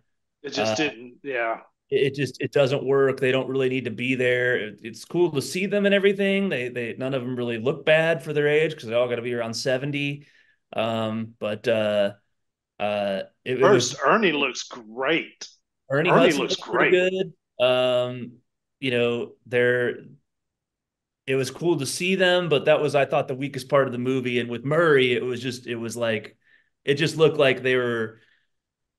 I was reminded of, of this this the snippet I read once where, uh, prior to the latest Star Wars trilogy, that George Lucas apparently had lunch with Mark Hamill prior to the Force Awakens, like when it was in the early de- pre-development stages, or it was maybe it was going to happen. It wasn't even in development, and apparently George Lucas said something to Mark Hamill like, you know, they're going to do this because it was like Disney owned it and everything. It was like this is going to happen, so it'd be cool if it happened with you, but basically it's going to happen anyway. Uh, yeah. I kind of feel like that was the conversation somebody had with Murray. Like, hey, they're going to kick the tires with with Ghostbusters again and restart it. Uh, you can boycott the thing if you want, but uh, it's going to happen anyway. So you may as well take the seven figure paycheck for two days worth of work. And it, it, just seemed like that's the attitude that he had with I, it. I, I think you're right because I do remember uh, him being very on the record that he wasn't interested in doing a Ghostbusters project. But so I, like, I, also, I like the other one. it, it is a fun oh, Go flick. I was gonna say I just felt like you know they could have utilized the the those actors differently in that movie. In other words, the way they use them, they didn't necessarily need to. It seemed I think forced, they, they right? It seemed forced, right? Yaks? Like it was almost like, well, let's let's put them in a scene where just right. Know. And I felt that that wasn't the scene for them. They didn't. I like. I don't think I they the, um, contributed. I like Did they... Aykroyd as the shop owner. You know, the Ghostbusters are kind of you know debunked or whatever. You know, there wasn't a big call of it to where you know it kind of explains like why the Ghostbusters aren't prevalent. Like, where did all the ghosts go after New York? What about this? I I haven't seen the movie, but what about this? These kids are the grandchildren of Harold Ramis, who's deceased what about a scene where they go and track down Dan Aykroyd and Murray and Hudson and they agree to meet them maybe in the library from the first film, the the the, the Metropolitan Library, and they ask about tell me about our grandfather. And there's like a yeah. heart there's like a heartfelt scene where it's just these three older guys telling about their time fighting ghosts. Like one scene just to help cool. these help these kids understand about who their grandfather was, and that's it. It's just would that have felt nice idea? Um, they the the little girl calls Aykroyd in his shop was Tut's referring to, and that just seems stilted. It just seemed that that whole the dialogue there. We're going to talk about yeah. some dialogue later. It seems uh, like you could have had a really tender scene because Ramis was such a Ramis was such a loved figure by even people that don't love people like Bill Murray, who's you know he, he's kind of a hard ass. seems like everybody kind of liked Harold Ramis, and maybe they could have a really warm little scene there with the grandkids, and they get them out of there. They don't have to throw on the proton packs and all that shit. Real like quick, I said, they, I just felt like they utilized them. They, they could have done something. It, it could, they could have helped in the scene, but they didn't need them in the yeah. middle. Okay, real quick, if I can jump back, there was something I wanted to say, and it came up again in this in this film when you were talking about the de-aging technology that they used on Harrison Ford, Doctor, in the Indiana Jones film, and then you said they did something similar to Harold Ramis in this film. Well, just a digital representation. They didn't de-age yeah. him. Yeah. yeah, but they but they they they used CGI to to recreate him basically. Yeah. Yeah. I just want to give a shout out to a, a director who is his early stuff I'm always in awe of. His later stuff, eh. But you can't deny his early stuff. Ridley Scott, when he did the original director's cut of Blade Runner for DVD, he wanted to include a scene with Harrison Ford, who by then was obviously decades older than he was in Blade Runner. And it's a scene in a phone booth.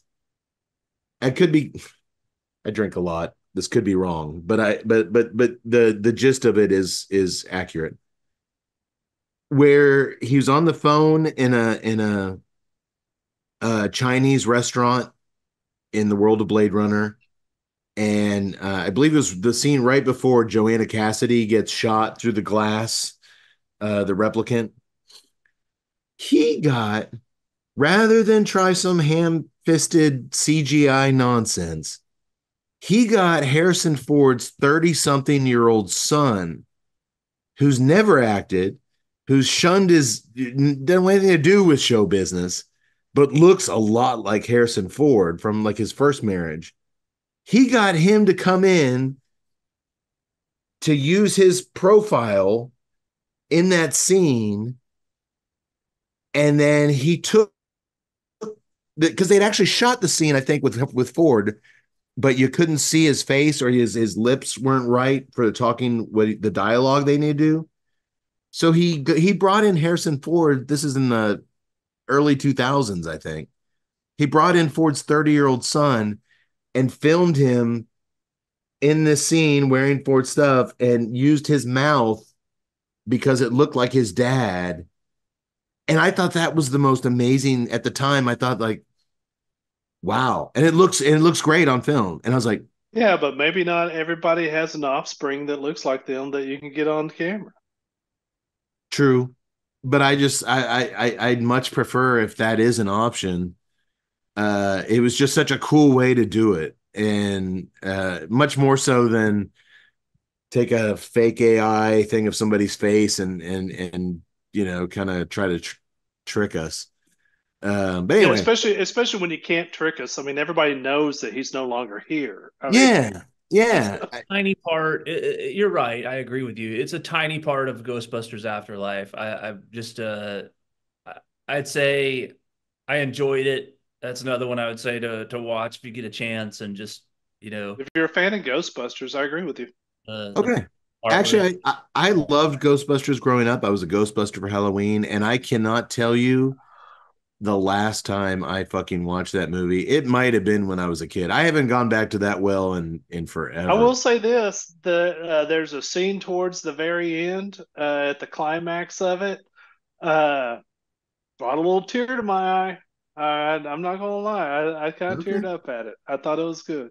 All right, well, Tut, you're on the hot seat. You said that you recently watched the new Millie Bobby Brown Netflix movie Damsel, 2024's Damsel, several times in a row. I'm uh, guessing. you, I'm guessing you weren't tuning into the dragons. You filthy pervert. Is dragon herpes a thing? Is there dragon herpes? If it was, I'd probably have them. well, there's a dragon movie on Netflix starring the girl from Stranger Things, and Tut watched it for some reason. Uh, oh, for, uh, no, I'm I'm not going to apologize for my love of dragons. I love dragons. I'm a big D and D nerd. Uh, but you also so when You also love Millie Bobby Brown. I'm not gonna lie, I do. I really do. Yeah. Uh, so when Netflix puts a poster of a big dragon up there, I don't know anything about the movie, but I'm gonna go click, and I did. Uh, and then I was like, oh, that's a Stranger Things girl, and I like her. I I, I think that she is growing into a a special young actress. Uh, she has got control of her face. She has this this she has this ability to do like Gandolfini type micro gestures. That's really really good. Uh, it really is, and I can't wait to see what she does as she grows old, older in her craft. Uh, you know, the movie you know itself. What, you know what, Todd? I can't believe I'm doing this. I'm gonna back you up on that, and just I've only seen her in Stranger Things, but so much of her stuff, especially the the the flashback stuff with Michael Modine, the Papa stuff. Uh, yeah, she does have a a, a way of expressing things subtly uh, without words that is uncommon for an actress her age, especially back then when she was a kid. Yeah. Uh, dude, I'm gonna give you that one. Okay, all right. Yeah, I don't know. I don't know where she picked it up. I don't know if it comes natural, but man, just just keep doing it. Uh, I will say that she needs to, if she's going to do some fantasy action movies, she needs to learn how to swing an axe and a sword because uh, it's not believable. There's this one scene where she's chopping wood that I was just like, oh, dude, who told you how to hold an axe? But uh, she does a really good job in it. Uh, the dragon's voiced by I don't know the lady's name, uh, but it's the uh, uh, main UN secretary from uh, the the Expanse. Uh, she's uh, she's the old Indian lady that sounds uh, like she's chain smoked for 23 years, and yes. it's really really good. Uh, and, and, she sounds perfect in the dragon. Uh, the story itself is kind of interesting. Um, I mean, it, it, was just a fun little flick. I mean, it wasn't great. It wasn't anything that I would say that you had to go rush out and see. But if you're a fan of uh, fantasy type movies, you needed a little dragon slaying uh, thing, you know, go go check it out. Uh, Millie, like I said, Millie is actually turning into a nice little actress, and I can't well, wait to see what she does. Well, that I can see. Uh, so the the dragon talks with a human voice. Yeah, yeah. Yes, it's much like Dragonheart, where you had Dennis Quaid as a knight and Sean Connery as the voice of a dragon. Out of all the people in this video, uh, don't don't question Yaks and I about the voice of dragons. I, I was just going to comment that I, I don't watch a lot of dragon stuff, and the idea of a dragon talking like with human words seems really stupid. No, yeah, I haven't I haven't seen the movie myself, but did the dragon have a name? Uh, I don't know if they ever. I don't know if they ever said it. Mm. Or they just called it dragon. Uh, no, dragon. No. Uh, I think. I think. I, I think Doctor would agree with me here. I Doctor, don't you think like because Game of Thrones, those those big dragons, if they had stopped, it's, different, like, it's a different hey, style though. Here. Get over here! Like, come on, that's crazy. That's stupid. It's with one stupid. possible one possible exception, you have Brad Dourif doing it like he did Chucky. Like you know, the dragon delights, like, hey, it's a dragon, and he's all, "Fuck you." yeah, or the leprechaun, like, Where's me gold? Oh, I'm a yeah, dragon. Where's oh, me? Oh, wait, that's Conor McGregor in Road House. Speaking of which, where's me ice cubes? Uh, by the way, I'm I'll like, be back in a shanty in a moment. Well, dude, doctor, take a take a break to get a fresh drink, and uh, oh man, Tut is nubbing that son of a gun. Man, look at this. I'm I've been pup, but I did start a little behind you guys. But man, I've still got a. I've been, I've been nursing it. I, I wanted to to keep it going as long as possible. Tut, final thoughts. Love it. It's uh, my favorite cigar that we've done this year. Really, you said that about the last cigar we did. This is I really better. like this. I really like this. Uh, all the notes that it's hitting is right in my wheelhouse. Like I said, I I always like when I go into a cigar shop, I always like pick something familiar and then I always pick something new because I just want to explore. I just want to expand, you know, my knowledge. I just want to expand my taste. I want to try to develop my palate ever more. And it's funny because you always try to try to balance that line but between just getting something that you enjoy to enjoy but i, I just like the the exploration uh, and so when I, when something pops like this it yeah. really reminds me of why i love cigars. I mean it just there's those moments to where it's just like this is a great time with friends. This is a great time. You know my week has been all kinds of shitty and i've got this cigar i've got friends i've got you know mediocre conversation and it just works. Mediocre at best. Um did you just say you like to expand your palate evermore did you throw an evermore in there you've been watching too know. many he watched that dragon film he's been watching way too many fucking dragon movies i just like to expand my cigar experiences evermore nobody Verily talks like I that into thee we got to start calling. Well, then sally forth and continue on your journey. Well, thank you, Millie Bobby Tuttle, for the. uh No, you know what? You're right. You're abs. Not that you need me to validate you, but uh I'm to join in with you there. There is. There is something about going into a cigar shop like Smokers Abbey in in Austin, uh, your local shop, grabbing something that you know what you're to get. But before you smoke that, ask tell your tobacconist what you're in the mood for, or just saying surprise me. I and, always do. And tell me why, or tell me what this is going to be and why you're giving it to me. And it is fun. It is, it is, and it's not, it's hit or miss. You yeah. know, you're gonna well, you're gonna you get. What's in, I'll tell you what's even more interesting is that Ian over uh, his palate is a little bit different, but I love hearing like like you said. Tell me why. Tell me why this because I love hearing what he likes about it, and then I try it and I, I try to see if it's there. Yeah, um, it, it is, and it makes it fun, and it makes it it gives you some when you set fire to that new cigar you never had. And I do it a lot out here in the corner of hope when I'm reviewing cigars.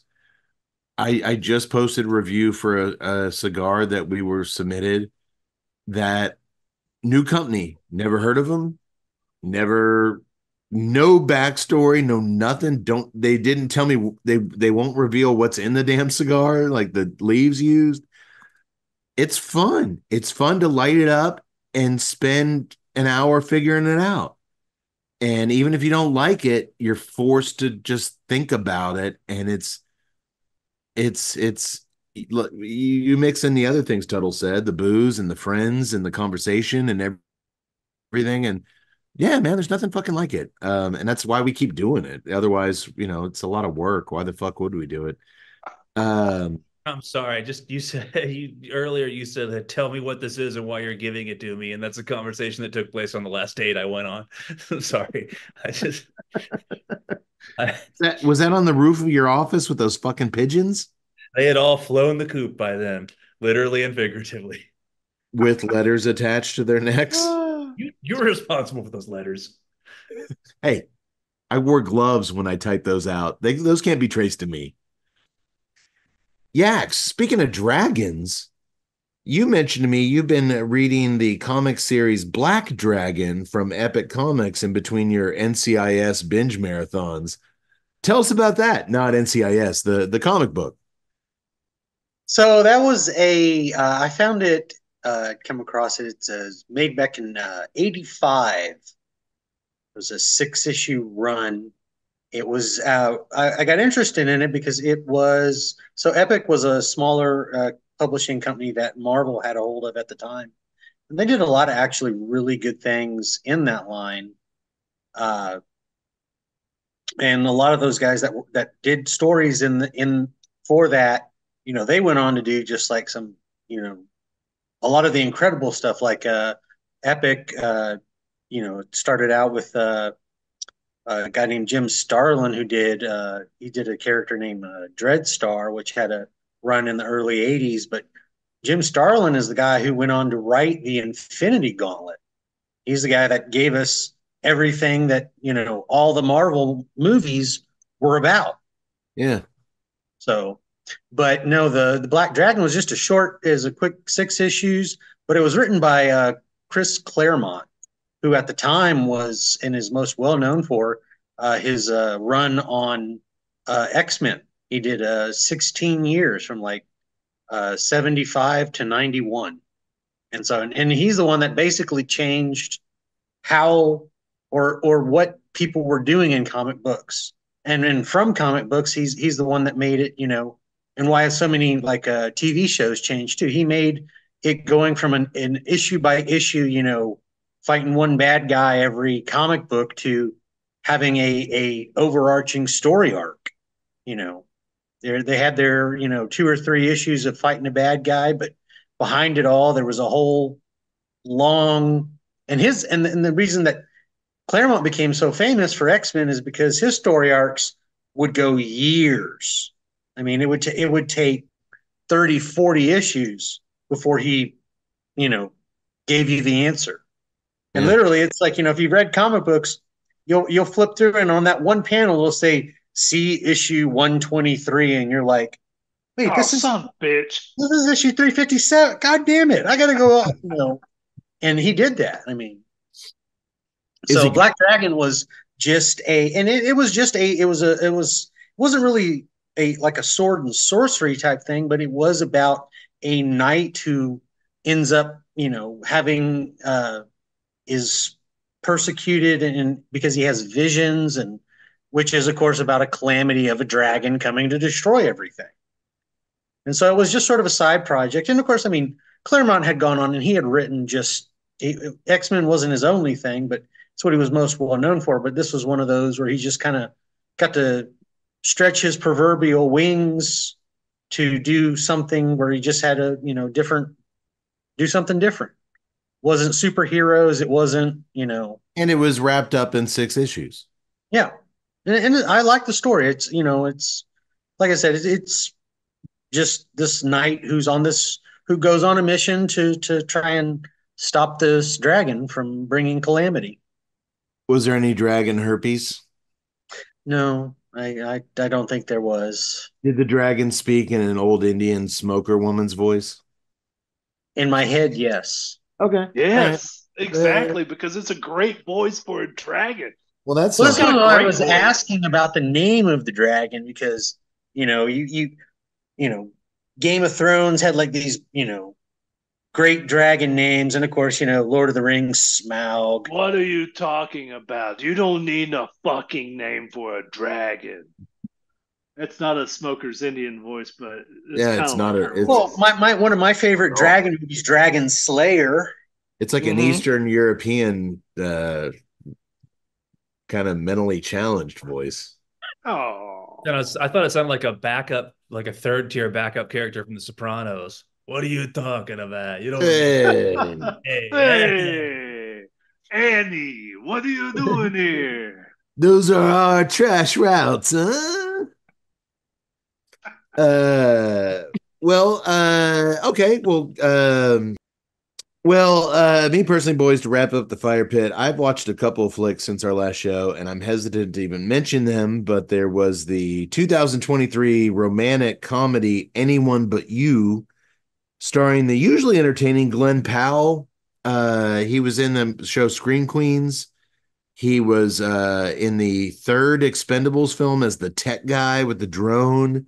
And I Yeah. think he was a major player in that new Top Gun movie, Maverick, Yeah, which I did not see. And his co star, uh, the very easy to look at Sydney Sweeney. Don't leave out. Uh, Glen Powell was in uh, the the Linklater. Everybody wants some. Oh, yeah, we did Everybody Wants Some. He's one of the baseball Mhm. player, college baseball Yeah. players that we did that. All I can say on that one uh, is that it was like I was watching a movie made by people that had not only never made a movie before, but it was this they'd never actually watched a movie before. Uh, it wasn't romantic, it wasn't funny, Everything in it was preposterous. It just sucked in every way, shape, or form. 30 minutes in, I was wishing all the characters contracted pigeon herpes and died. Uh, but then they'd have to change the name to anything but that. And it still uh, wouldn't be grounded in any type of reality. It was terrible. So I'm not going to waste your time on that one. You folks at home, skip it. It's just awful. And the next uh, thing I watched was the newly released comedy comedy, not a romantic comedy, a comedy comedy.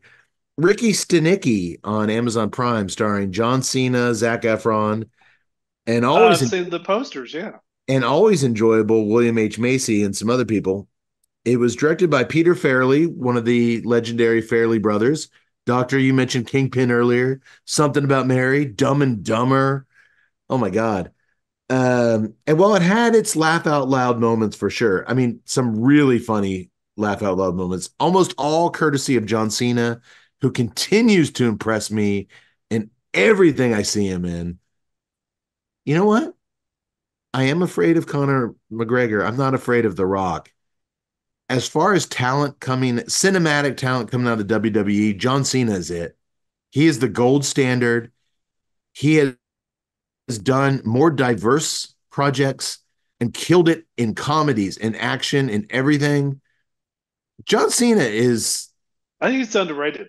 Sky's the limit with this dude. I, I he's very popular. I don't think he's underrated. Everybody loves him, but yeah, but I don't think they love John Cena movies. Oh, perhaps, but he's really, really funny in this. Not like, oh, it's a big, giant, freakish, muscular dude. No, he's just he has a natural talent for comedy. Um, I will enter you. Shut up, or I've.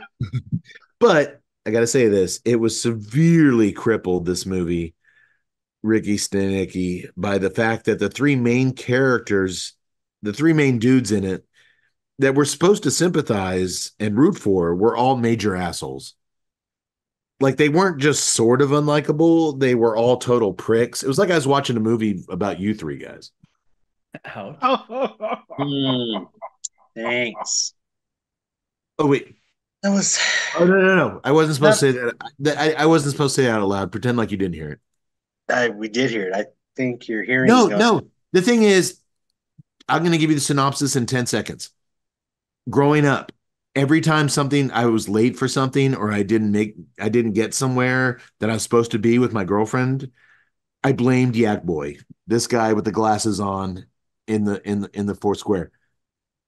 Oh babe yak boy came over or, or babe yak boy had to do my whole life has been blaming yak boy for stuff that wasn't his fault.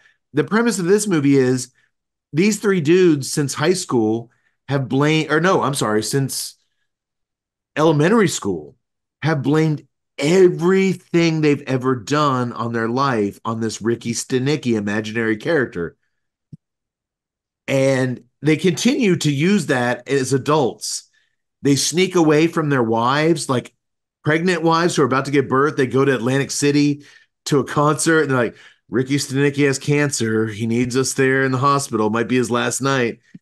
They're just pricks. They're just total selfish, self absorbed dicks. And you don't want them to like have a happy ending. You don't like these guys. And it's partially the performer's fault because they they they just come across as complete but it's also the writing, the directing. It's you can't have a movie like this where you're not rooting for your main dudes. And the only one that comes out of this thing unscathed is is Cena as Ricky. They they hire this Atlantic City uh stage performer to because they have to save their ass at a certain point and present Ricky Stanicky to their their wives because their wives are getting a little suspicious. He's so good, but that's all that's good about the movie. And William H Macy's pretty damn funny too. Yaks, did you know or at least have any suspicion that every time Cade got in hot water with his wife, uh, all the way back to high school, that whenever something happened, like he showed up drunk or was hungover or missed, did you know that you were blamed for it? Yes, yes, I, Okay. I did know. Yet she yet she still really likes Yak I was about to say the amazing thing is that Yaks is so likable. Everybody's like, "Oh, okay." Well, that's why he was an easy an easy uh thing to stick the the the tracking beacon on and and and use them in that way because she's gonna like you know it's Cody. She's, it's Yak Boy. She's gonna she's gonna be okay. So I yeah, I, I, bulletproof. I, mean, just literally just getting hit left and right. I would de- couple I of would- arrows. It's fine. Completely. I would def I would definitely say if you're if you're sitting around drinking a couple beers, here's my review.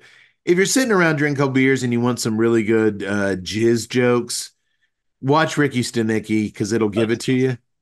It, it's got classic Farrelly Brothers just potty humor and and and dick humor, but don't expect it to be something about Mary or Kingpin level Farrelly Brothers. It's it's not that. Um but yeah, so that's that's kind of what I've been up to. Um, so let me say this. Well, I went into both of those films, that horrible rom com and Ricky Stanicky, with an open mind. As I always, no matter what I watch, I always try to take a breath and give it a, a, a just a clean watch, regardless of the talent involved and the and the genre after watching the trailer for tonight's movie we're about to talk about, which I rarely do, I rarely watch the trailer, but I couldn't resist the temptation a few months ago. It was really hard to keep an open mind, but I did my best tonight. Unlike the filmmakers and everyone involved in 2024's Road House. I did my best. They did not do theirs. I wouldn't do it with an open mind. I I, I think we we kind of talked about that just in general, how in the past when we were younger, as remakes became more prevalent, which they've always been there. That's always been part of, of Hollywood. They they remake movies. Um, that that I I we we talked about with Halloween with Rob Zombie and and Indiana Jones, as you mentioned earlier. Uh, I never really took that whole "you pissed on my childhood by ruining something" kind of kind of thing. So I I, I always I got to a point. I developed an attitude that was so cynical that it bordered on hipsterism at some point, where I just thought that uh, any big budget new movie, I'm just not going to like it. They just all suck. And and what happened is that sort of that attitude, I didn't I didn't abandon it. It sort of transmogrified into having no expectations, and that's a good thing. Like no good expectations, no bad expectations. I just have nothing, no expectations, and Yeah. it's a fair way. I think that's a fair way to see any movie, and I, I feel like I went into the Road House with that. I I, I Uh, did I I did did not. I'll just I'll just go ahead and say it. The the trailer was trash. I mean, there's nothing redeemable about the trailer. It was horrible. In fact, I I pitched tonight's show as you know I've I, I think uh, I was drunk, so let me see if I got this right. Cade was like, "I'm not doing that," and I was like, "No, let's just do the show and then just trash on it. It Yeah. deserves to be trashed on." uh, when I watched that trailer, I was just like, there, there's nothing redeemable about this. It is horrible garbage. Yeah, And you're that's right. how I and that's how I went into it. Interesting, Tut, because uh I watched the two minute trailer and I tell myself you have to reserve judgment because you're just seeing two minutes. Now, granted, the trailer they want to give you the hook, so they want to give you the best things about it. should, and it should entice you, but I I didn't I I just thought I I I kind of just went with well I'm not going to have expectations. Hey, real quick before we get into 2024's The Road House, oh, because it's going to be good. um, we didn't talk price point on cigar. You want to take a guess to it? It's a- Man, it's a have no slow, it's a clue. I'm- slow, it's a slow burning cigar, man. I'm still smoking it, and I started it forever ago. Man, I don't know. I, I don't even remember what the what the original M81 is priced at. Uh, but I I'd, I'd go. I want to say thirteen fifty, but I that's my go to for any pri any cigar that I don't really know. Uh, but I like that you admit that. yeah, I'll go Just got 1350 in my back pocket if I can't think anything Yeah. else. to throw out. Uh, six six by fifty two Toro Yak Boy. What's your guess? Go 1350, man. Go thirteen. Go thirteen fifty one. All right, I'm going to go 1351. I'm gonna go. Let's see. You can't go over, right? I'm gonna go. It's wait, wait, it's it's it's 1984. Ten fifty. Oh, 1050 is a great price point for that cigar. Hold on. That, that was my guess. Let me check my note. Oh, Oh, I did it again. Ten fifty. that's a great price point for that cigar. It really is. Yeah, it's a great price point for that cigar. I'm I I'm digging it. I uh I never got your marshmallow, but I certainly got a little graham kind of cookie uh on the on the finish. Uh the cedar leather was highly enjoyable. The uh the pepper with the little salty and must on the back end. Yeah, it's great. Great construction. Uh only had to relight once because I was yapping my jaws too much, but uh yeah, Yeah, I didn't have to babysit it at all. It was thumbs great. up. Thumbs up on the uh Shade to Black. All right, well let's get down to brass tacks, boys. Yeah. 2024's Road House. The movie was written by some people that don't have a goddamn clue about writing screenplays and directed by a guy named Doug Liman who should absolutely know better as he's directed some actual real films and television over the years, such as Swingers, introducing Vince Vaughn to the world, Go, introducing Timothy Olyphant to the world, The Bourne Identity, dude he was executive producer and directed doctor one of our favorite series of the early the oc mr and mrs smith starring brad pitt and angelina jolie. Jumper starring bruce willis. Edge of tomorrow with tom cruise. This guy's made some stuff. Begging the question, how much directing did he actually do? well for the first time in almost 10 years of doing this podcast 165 episodes I did not watch our featured film twice in order to take proper notes to help us navigate our way through the story and provide some structure for our legendary analytical discussion. And it's not because I was it's not because I was lazy, it's not because I got drunk or ran out of time or because I was busy consoling Tut over his outbreak of dragon herpes. It's because I just couldn't bring myself to sit down for another 2 plus hours and give this piece of shit any more of my time. And keep in mind, I watched that goddamn John Travolta Gotti movie at least twice, and that Bruce Willis space movie at least two or three times for this show. That should tell you something. I go, I go hard, and I go All all the way.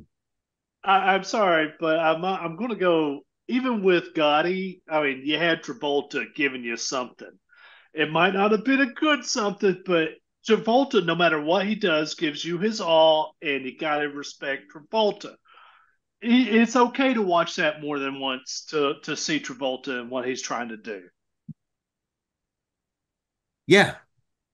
Yeah. Somebody was trying, and I respected that, and I watched it again. Nobody was No, trying. all right, Nobody was trying in this fucking movie. I disagree. I disagree. You'll get you'll get we'll, we'll get there. We'll get there. okay. So what you're about what we're about to take you through is my just 2 weeks later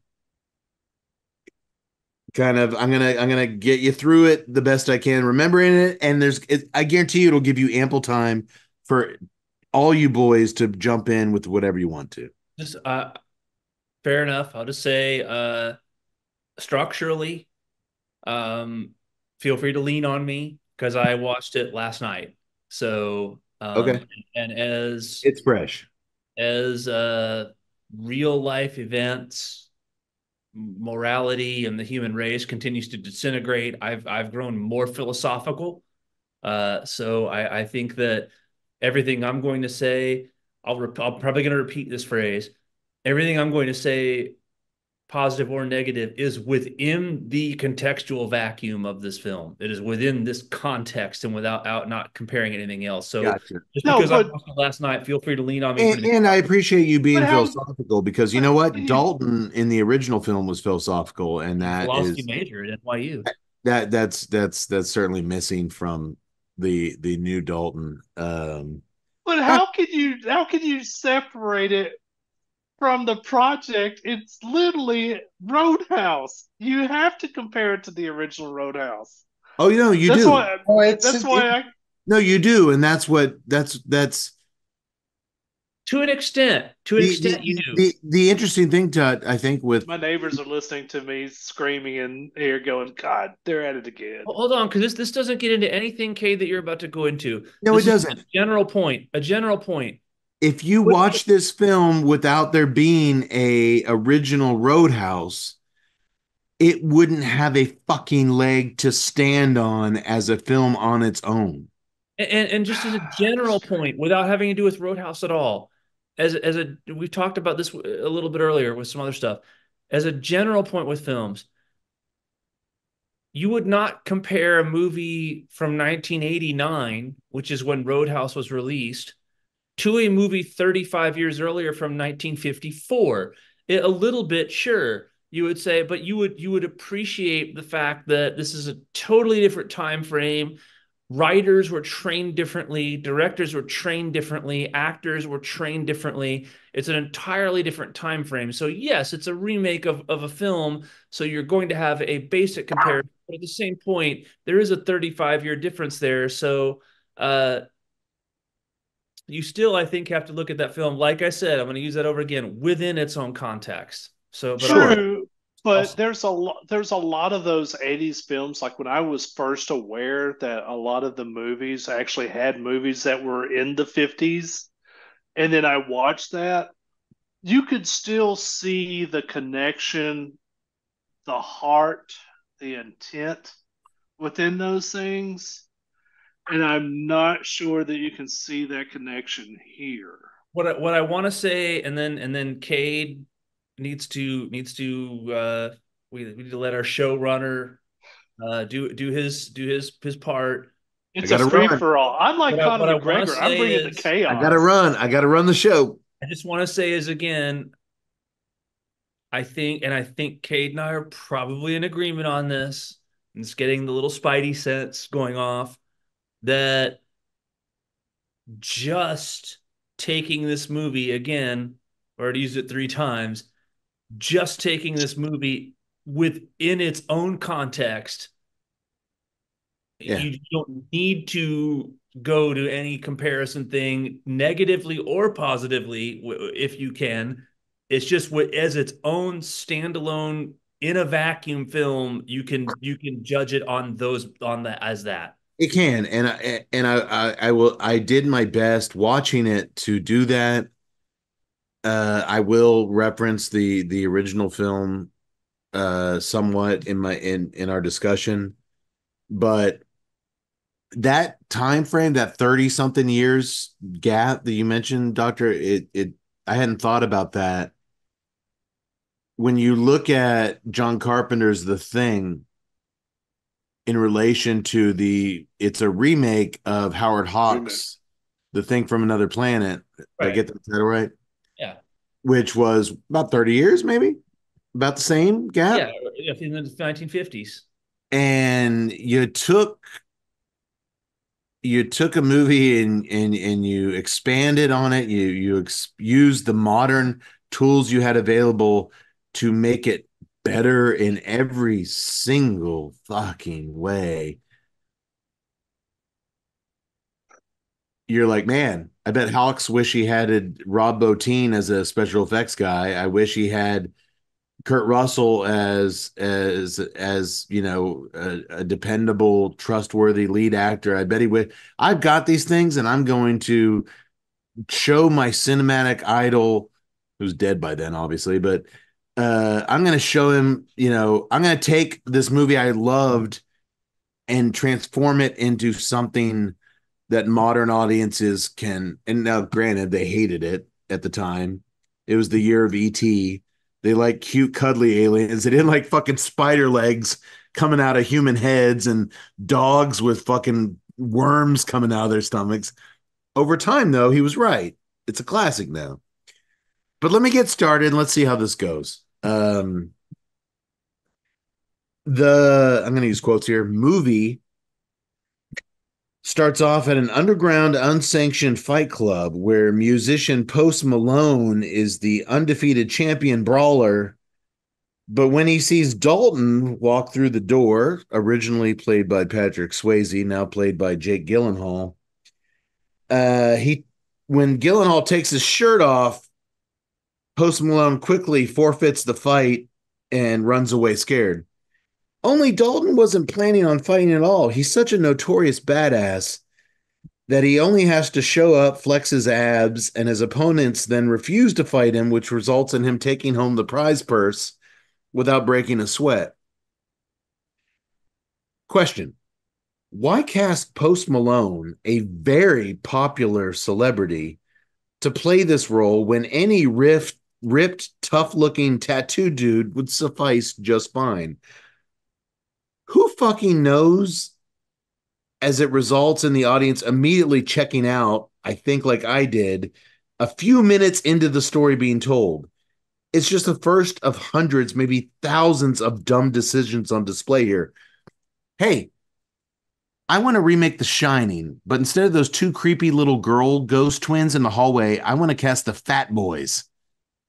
And they're going to be standing in that hallway when the little kid rides his rides his big wheel down there. I, I gotta tell you, I kind of like that. a, somebody, somebody, a producer or someone would be like, Cade, that's going to take people out of the film and it's not good for the story. So maybe love it. Maybe casting one of the top five music celebrities in the world as a pit fighter, who, by the way, doesn't have an ounce of muscle on his. He's just no, he's got a pot belly and he's yeah. just why? Why? Why? I know. Doctor, you know. Yeah. it's it's we talked about this earlier with it's a it's a marketing hook. It's not Are you saying that it was a collab? No, it's like Hetfield and the cigars? Thought there's a book you need to read called If Then, written by a Harvard professor, Jill Lepore, or Lepore, however pronounce her name. It's basically about how a company, Simulmatics, invented the times that we live in today. So, and how every presidential campaign since Adlai Stevenson's in 1952 has been run by an ad agency. It's true. It's not cynicism or any, no, any I, I, as a dude, I, as a marketing student, I I, I understand this. Start your movie, and it's like, oh, Post Malone's afraid to fight this guy. Of course he is. He's he's not a fighter. He's a musician. I'm just going to say this. For some reason, Post Malone worked for me. I thought it was funny. There was no, yeah, no, he there's no ounce on him, but there is something zany about it that I just fucking liked. And I'm sorry, but when he was throwing punches, he looked like he could throw a punch. Someone trained him the fight choreography. And I'm sorry, I don't care what y'all say about this movie. You, you want to sit there and say, you know, it's a total bunch of garbage, and you can't because whoever the fight choreography is put their fucking heart into it, and it showed on some of these fight sequences. This is some of some really cool, crazy fight sequences going out there. Even though it's fight a fighting style I don't like. I don't. I, I understand that it's a whole UFC theme throughout the entire movie. I much rather prefer the Aikido to the original one. But I'm sorry, the fight scene and the fight choreography on this was top notch, and I don't know why, but Post Malone just made me giggle, and I liked it. To backtrack to Cade's ah. initial question of why, the answer goes back to the book I read, If Then. If we put Post Malone in it, and if we put Conor McGregor in it, then we will get more viewers from the younger generation. It's but I don't even know. I don't. Did, did, did no, they even market it as Post Malone in there? No, and they didn't have to because right from this scene, there was literally no context because we only have the context from later here when the the lady who owns quote unquote the roadhouse she was looking for a tough guy to to beat crack some skulls to clean up the town or whatever. She's the only context we have for Malone's character of he's a badass. Well, all I saw was like some two dudes hitting at each other that didn't look like any sort of fighting. Okay. they just looked like two guys with their fists wrapped, just wailing on each other. In other words, you say it's choreographed, but I mean, I could have gotten two hobos to do that. Not, yes, people have gotten hobos to do that and put it on YouTube. But but Tut loves the choreography. We're, we're gonna have to let Cade continue, or we're gonna be talking about this movie till four in the morning, and I just can't do that. Hey, we're only in the first two minutes, and there's Yeah. two hours. Oh, You see, boys, it's revealed in flashbacks that as a UFC fighter, Dalton pummeled his best friend in the ring until he killed the guy. Why? We never find out, other than he kind of mentions to someone when he gets in the zone, he just can't stop, or something like that. We never learn who the friend was. What's Dalton been doing since? Nothing. This entire movie, we never learn a single goddamn suspe- substantial thing about Dalton. And when your lead actor is as charismatic as a fig pizza, that's a real problem. That is one, a real I like big pizzas, and two, we never knew the backstory of the original Dalton. Oh, you sure Oh. as fuck, you sure as fuck did know the original Dalton. You knew something happened. You knew that this guy lived his whole life as a fucking bouncer, just like his buddy Wade Garrett. They lived in that world. You knew, you knew so much about He's a bouncer that had something bad happen. look, there are some things in life that I'll never understand, things that I'll never be able to grasp or comprehend, no matter how hard I try. Geometry, the popularity of that Big Bang Theory TV show, wheat love ales, wheat ales, and how the fuck Jake Gyllenhaal became a movie star. And this movie, Donnie Darko. this movie solidified it. This guy, if you're going to have a movie where you don't tell us anything about the lead character and it's all innuendo and just not even innuendo, it's nothing. We're giving we're giving nothing about this dude. He's not the guy. He has no charm. He has no charisma. He has no humor. He has no angst. And despite the fact that, despite the fact that the script is so bad that I think I made the analogy, and I've made, I have several for this movie, that now that the baseball season has started, every actor in this movie is coming up to the plate with two strikes on him. Uh, I mean that that the and and you have to take that into account. He does get out of every person in this movie, he's the lead actor. He gets the most opportunity to do something. Uh, and he's not going to overcome the script. The script is atrocious, but he is he gives you nothing. And I think I the other analogy I had real quick was it reminded me of an anecdote from the 1962 film Mutiny on the Bounty with Marlon Brando and Richard Harris, where Richard Harris uh, said that you know at that point Brando had become megalomaniacal and was a dickhead and wouldn't even read lines with Richard Harris, and so when he had to do his scenes, rather than being able to read lines, you know Brando's off camera and it's on Harris, rather than be able to read his lines with Brando he read his lines with a piece of driftwood that they found on the beach. That's what he looked at while he did his lines. Jake Gyllenhaal is a piece of driftwood in this movie. He gives you nothing. There is he has it's a bad script, and no one's going to overcome how bad the writing was in this movie. And you, you do have to give a little bit of an excuse for everybody because how bad the screenplay is. But he is a piece of driftwood. He gives you nothing. It is awful. I am in total agreement with Cade. I don't understand his career. If I've missed some film that I need to go see, not Donnie Darko, Tut. I saw that. He was a young guy, he was like 20 years old. If there's No, something I- in the last 10 years that I've missed, let me know. He is he is driftwood. He is nothing. He gives you nothing. Actually, Doctor, I in in my little uh where I, I have this little group of trees in my front yard. We have a piece of driftwood out in there, and it That's actually it actually has more charisma and charm than Jake Gyllenhaal. that has a little personality. He's got no personality. He's got nothing. no, And he has every opportunity. He has opportunities, even with this bad script, to show some charm, to show some humor, to to the whole where is there a hospital nearby? That whole god awful scene. The writing is bad. The writing is piss. But he he has scenes where he could give you something, and he gives you nothing. less than nothing.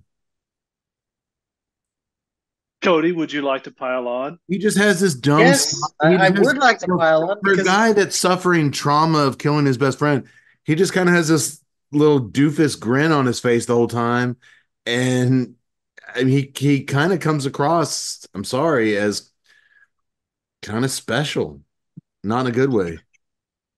yes, that's exactly where I was going to go. He feels like he's dissociative in his own world. He's just people come up and offer him stuff. Okay, I'll do that. He's just, what are you I doing? He's just hanging doing he's just unlike Dalton. He's just the original Dalton. He's just hanging around. Noodling, just kicking. He's just kicking. He's just kicking it. It's fine. He's fine. He doesn't All seem right. sad. He doesn't seem No, keep- happy. He's Keep- just keep kind of Let's going, go down Cody. to I, I Keys, want y'all, I want y'all to get all of this out. How All do you overcome your lead actor being Driftwood?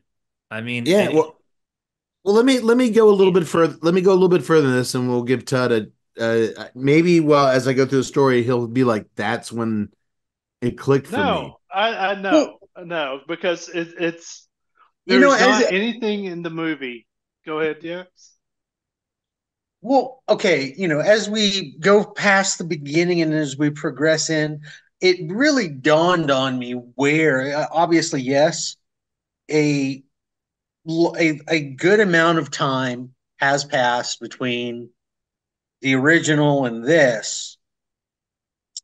And yes, as we have, you know, stated, there there were have remakes have always gone on, all that, but to literally take away from your character, your central character, i.e., that you know, I and, you know we we know from the original that they they followed the the old west trope of the quote unquote kind of you know the the man with no name, the drifter, the so on, and and that's what hmm. we were getting.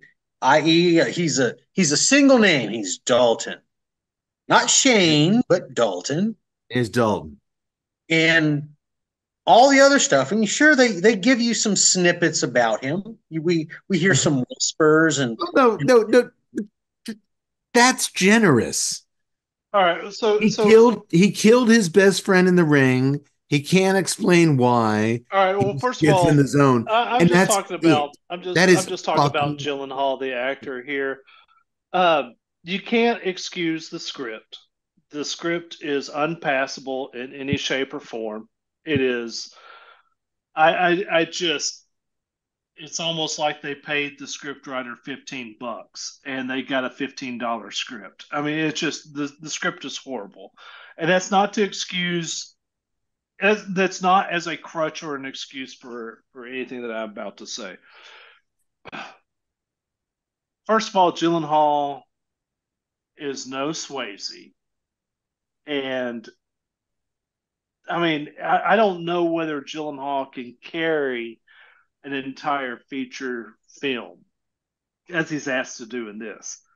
But I will say this: there is an odd energy to Gyllenhaal or Gyllenhaal. I'm not even sure how to pronounce it. in There is this, this movie, weird. There is a weird in every movie. no, no, no, no, no. Let's let's get back to the context. In this movie, There you- is an odd energy to him. in the Roadhouse, you see an you see an, an odd and odd, if you want to call it odd, you see an odd energy to Gyllenhaal this movie. There is an odd energy. It I is need some more weird. proper twelve. God damn it! It's hard. It's hard to explain. It's he's not charismatic as your leading man. He's it's Possible not, to explain. You ever you ever watch Trailer Park Boys? Do you know who Bubbles is? I'm just saying there is. That guy- Hey, He has charisma. I'm Bubbles just saying that there's Bubbles has charisma. Bubbles You know is what? special with charisma. Gyllenhaal is just a blank slate of nothingness. I disagree. I disagree. There is this thing there with Gyllenhaal, Gyllenhaal. Okay. I, I, it's hard to explain, but there, Yeah, there 'cause- is 'cause this it's un- energy into there. Yeah. and okay. like, and I It- will say this: you know, was- you sit was- there and talk about driftwood. A driftwood is not going to shred down to one percent body fat. oh, dude, you're just now you now you could just cast any fashion model in the role, and you're like, hey, those abs. That is no, not. you can't because there has been so many films that we have He done already- on this podcast Dude, he- where the actors do not give a fucking shit He whatsoever already about had the those- Dude, And he I guarantee you, Gyllenhaal gave a shit about this he project. already had those fucking abs. He was in a boxer movie a few years ago and was shredded. It's not like he His, his He tripped. physical shape. His physical shape has nothing to do with his performance. I'm just saying that no, I think I think there is. Like when Stallone fattened up for Cop Land, everybody was writing about it. I'm just saying that I, I'm just saying that it is to sit there and say that Gyllenhaal didn't give a crap. He was just taking a check. It The was fact just, that you know you it was would- trash the and fact that you would I reference disagree that with it. piece the fact that you would reference that fucking pandering piece of shit Cop Land, which was only that talk, pandering piece of shit made headlines and was fucking written about. only I didn't it say he didn't give a shit. It only the only reason people talk about Cop Land is because Stallone got fat. Stallone ate some donuts, and that's why we talk about that movie. And I, I- I didn't say Jake Gyllenhaal didn't give a shit. I didn't say he didn't care, and that's why he's bad. I'm saying he's just bad. I'm not saying he was like, oh, No, I- ho. No, I, I I'm not saying he didn't try. I'm No. saying he's It- not it- he's is- not a good actor, and he tried and it failed. I'm failed. just saying there's an odd energy, and if you can fucking capture it, the dude is the dude works. Okay, Not in not Well, in this film. That may be, but it's not here. did The you just say director, Oh, not? Screenwriter, agree with Cut. that. none I'll of these agree with that, guys. but I'm gonna I'm going to Cut. die on the Cut. hill where Cut. Did you just say he has a weird energy that works not in this film, but it works? Yeah. So it, you just said it doesn't work in this film. See, okay, for the fifth time, the context is this movie. Tell I'm just I'm just not I have been listening to y'all say that he is uncharismatic and he's driftwood and I'm going to defend. So you Gyllenhaal. liked him. You liked him in Brokeback Mountain, but it didn't. I've never seen that movie. Yeah, sure you haven't.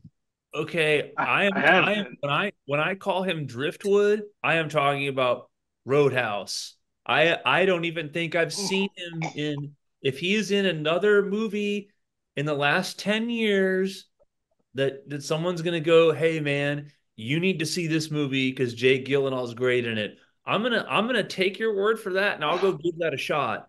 I am I don't think there's anybody that's ever said that about this dude. Okay, so I'm talking about this flick here. When I say Jake Gyllenhaal is Driftwood, I'm talking about the Roadhouse. I'm talking about the movie for our podcast.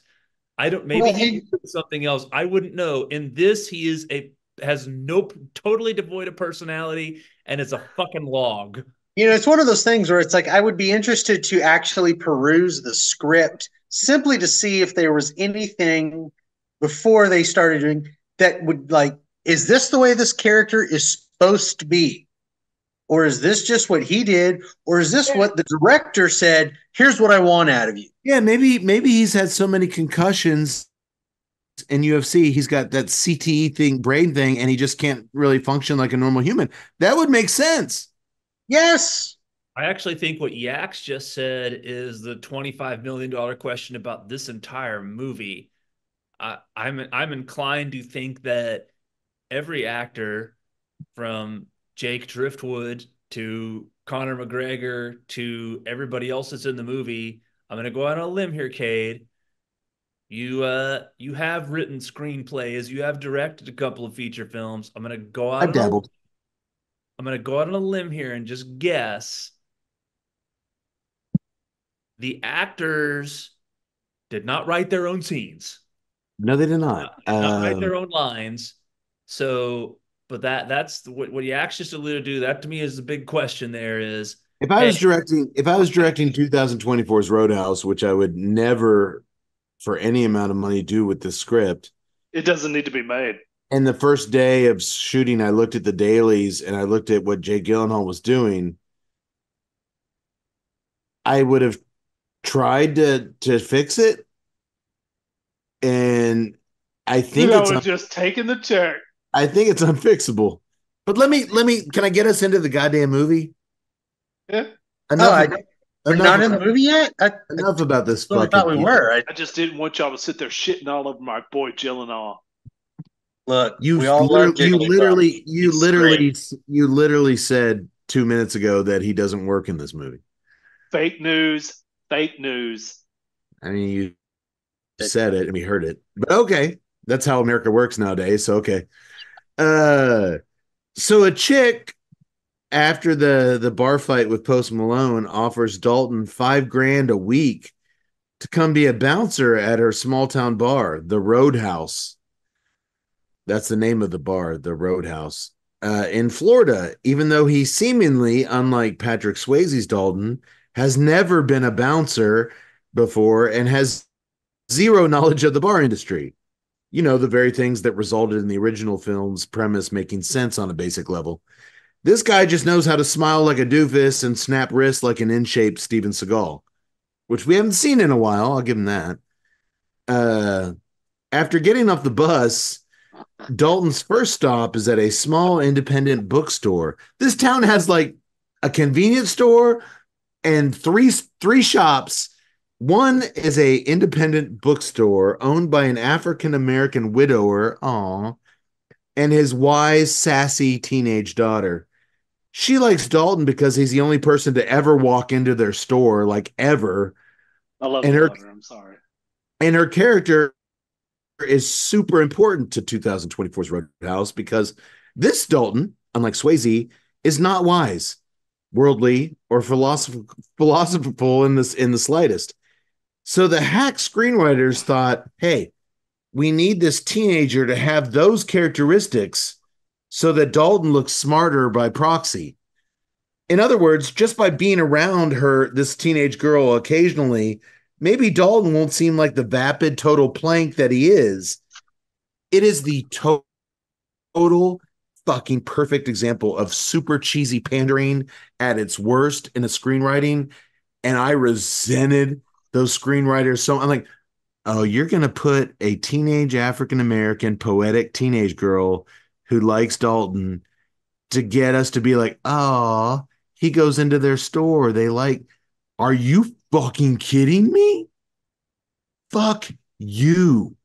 Fuck you for trying to make me think that, oh, he's a sensitive soul. He goes into a bookstore. Fucking the original Dalton fucking wrote books in his head that he never published. This dude, he goes into a bookstore, he doesn't even pick up a book. He picked Oh. up a oh. pamphlet about a tree. Come on. Yeah, he picked up a pamphlet like, oh, is this something about something? She's like, yeah, it is something about something. Oh, cool. I like stuff about something. Are you kidding me? This is this is That was the literally the script for the movie. this So, is the this this is the worst screenwriting I have in 165 episodes. I have never sat through something written with this low level of respect for the audience. Hey, our main character, he's not very smart, and he's and he, boy, now that we're looking at it, he looks like a total doofus. Hey, what if we have an African American teenager that runs a small independent bookstore in a town that would never support such a business? and she likes him, and that way we'll think he's smarter. Fuck you. Never make another movie. You should go to movie jail, a life sentence. Never make another movie. Fuck you. that said, I did like the actress. I did like uh, Oh, her who delivery. I cares? was fine. Yeah, you know she. she you know what? No, was no. fine. Here's here. Here's the thing. Here, here's what I'm gonna say. W- w- moving on from Jake, I've said what I'm gonna say about the actress playing Frankie and what uh, is the girl? Is her name Charlie? I I, I think that's Here's- in the bookstore. Doesn't matter. Uh, I'm gonna say this. Them, I give the benefit of the doubt. Their characters were bad. I like nothing about their characters. I like nothing about what they do. They're just bad, but they're not in it a lot. And I will say that that's a situation. Them and his love interest, who we haven't introduced yet, but we, we Cade's talked about Frankie, who owns the Roadhouse, and this girl in the bookstore. On them, I'll go back to my analogy of you came up to the plate and we already said you got two strikes on you. You're an 0-2 hole. Like, man, that's not fair. You know, it's like, hey, there's some hitters can get Dude. hit with two strikes, some Dude. can't. This is a like an incomplete grade. We can't pass Dude, you, we can't fail you. Dalton steps off the bus. This is a five building town. They got the roadhouse, a, a hotel, a convenience store, oh, and a quirky little independent bookstore owned by a quirky that would never happen in no, the you're real- right you're right i agree with you completely the writings I'm, I'm just saying i'm talking about the two actresses that play the owner of the roadhouse and the teenage girl i'm, I'm gonna say you get a free pass you you proved nothing you didn't prove you can act we you didn't prove that you can't we're just gonna have to see you in something else I, I give them no, no, no. I, not good. I like nothing about them. I'm okay, Doc. Give them pass. Doctor, I'm okay with the pass on those two. I'm okay with yeah. the pass. The Roadhouse itself is an open bar on the beach where rando troublemakers stroll in daily and just start knocking over people's beer bottles and pushing over chairs because that's a thing. I don't even think that's a I don't even think that's a thing in Florida, but it's a thing in in this movie. Uh a grown man, I'm just gonna snap some pool cues. Dude, there's never more than 10 customers in this bar. And once a day, these guys stroll in and just destroy the place. How is she fucking paying one, that band that's always behind the cage? And how is she paying Dalton five grand, five grand. a week when she's selling, I don't know, a couple Bud Lights and a couple daiquiris to her her regulars? That's a script thing. It's a script thing. You got to move on, dude. She's At like, at least in the original, it was our busy. guy fixing up the roadhouse literally did come and say, "I came into some money." Yeah, they solved it with the sentence. She could have said the same thing, dude. It's that's called it, smart writing. The double fixing the fixing the problem. Did you not notice These that the band can't do that? The band was the Doc and Tuttle experience. Yaks, what was the original bar? The Double Deuce? Double Deuce. Pretty good. It was busy. They were making money. There's never more than 10 people in this oh, bar. No, no. It was even as a as a dive, there was still 50, 60 people in there at every single yeah. time. So you're sitting there going, okay, they're making something. He's making something, but he also did imply that he was he wanted to make more money and that he had come into some money and now he wants to fix it up. Five grand, five, it up first. Five grand a week for a dude with no experience bouncing. I want to pay you five grand a week to come in and break my customers' arms. The local cops are bought and paid for. The bar owner chick doesn't know how to look up the phone number for the FBI, which would solve her problems fairly quickly. So Dalton, who doesn't want to fight anymore because of the trauma of killing his best friend, which we barely get into, just starts fighting people happily, and he seems to be having fun while doing it, cracking jokes and always smiling like a freshly turned 21 year old at a titty bar. Hey, speaking of titty bars, which are inarguably uh, awesome, if you were listening to me earlier, you'd know about the newly released tubular shaped bits of awesomeness that were recently unleashed by our good friends over at Drew Estate. Dark, bold, and unapologetic. and Cigars M81 by Drew Estate is an intense journey into the uncharted, deepest, darkest, heaviest depths of Maduro tobacco a masterpiece collaboration between Metallica's James Hetfield, Sweet Amber Distilling's Rob Dietrich, and Drew Estate's own Jonathan Drew. The All Maduro Blackened Cigars M81 by Drew Estate is a rich and powerful, but beautifully balanced offering, tantalizing notes of leather, chocolate, and espresso that's perfect for both of life's celebrations and time reflection. All right, let me ask you this real quick. I got the leather in tonight's shade cigar, Yes. which is similar to the leather in the uh, original M81. How do you feel as far as tonight's uh, shade to black smoke fitting in with the Blackened brand of cigars? In my recent written review of the Blackened M81 over on the TNCC website, I noted a well balanced flavor profile black pepper spice. This one tones that down a little bit Yeah. with the Connecticut wrapper. Uh, leather, coffee. I've got I got no coffee coming in this Yeah. one. I, got, I the This coffee one- is a little more woodsy, a little more cedary, but I got that salty kind of mustiness on the back end of the which makes me think that the shade to black it is kind of a sister cigar to the M81. Well, yeah, I would I would definitely say that, but I would also say that, you know, in terms of like, I guess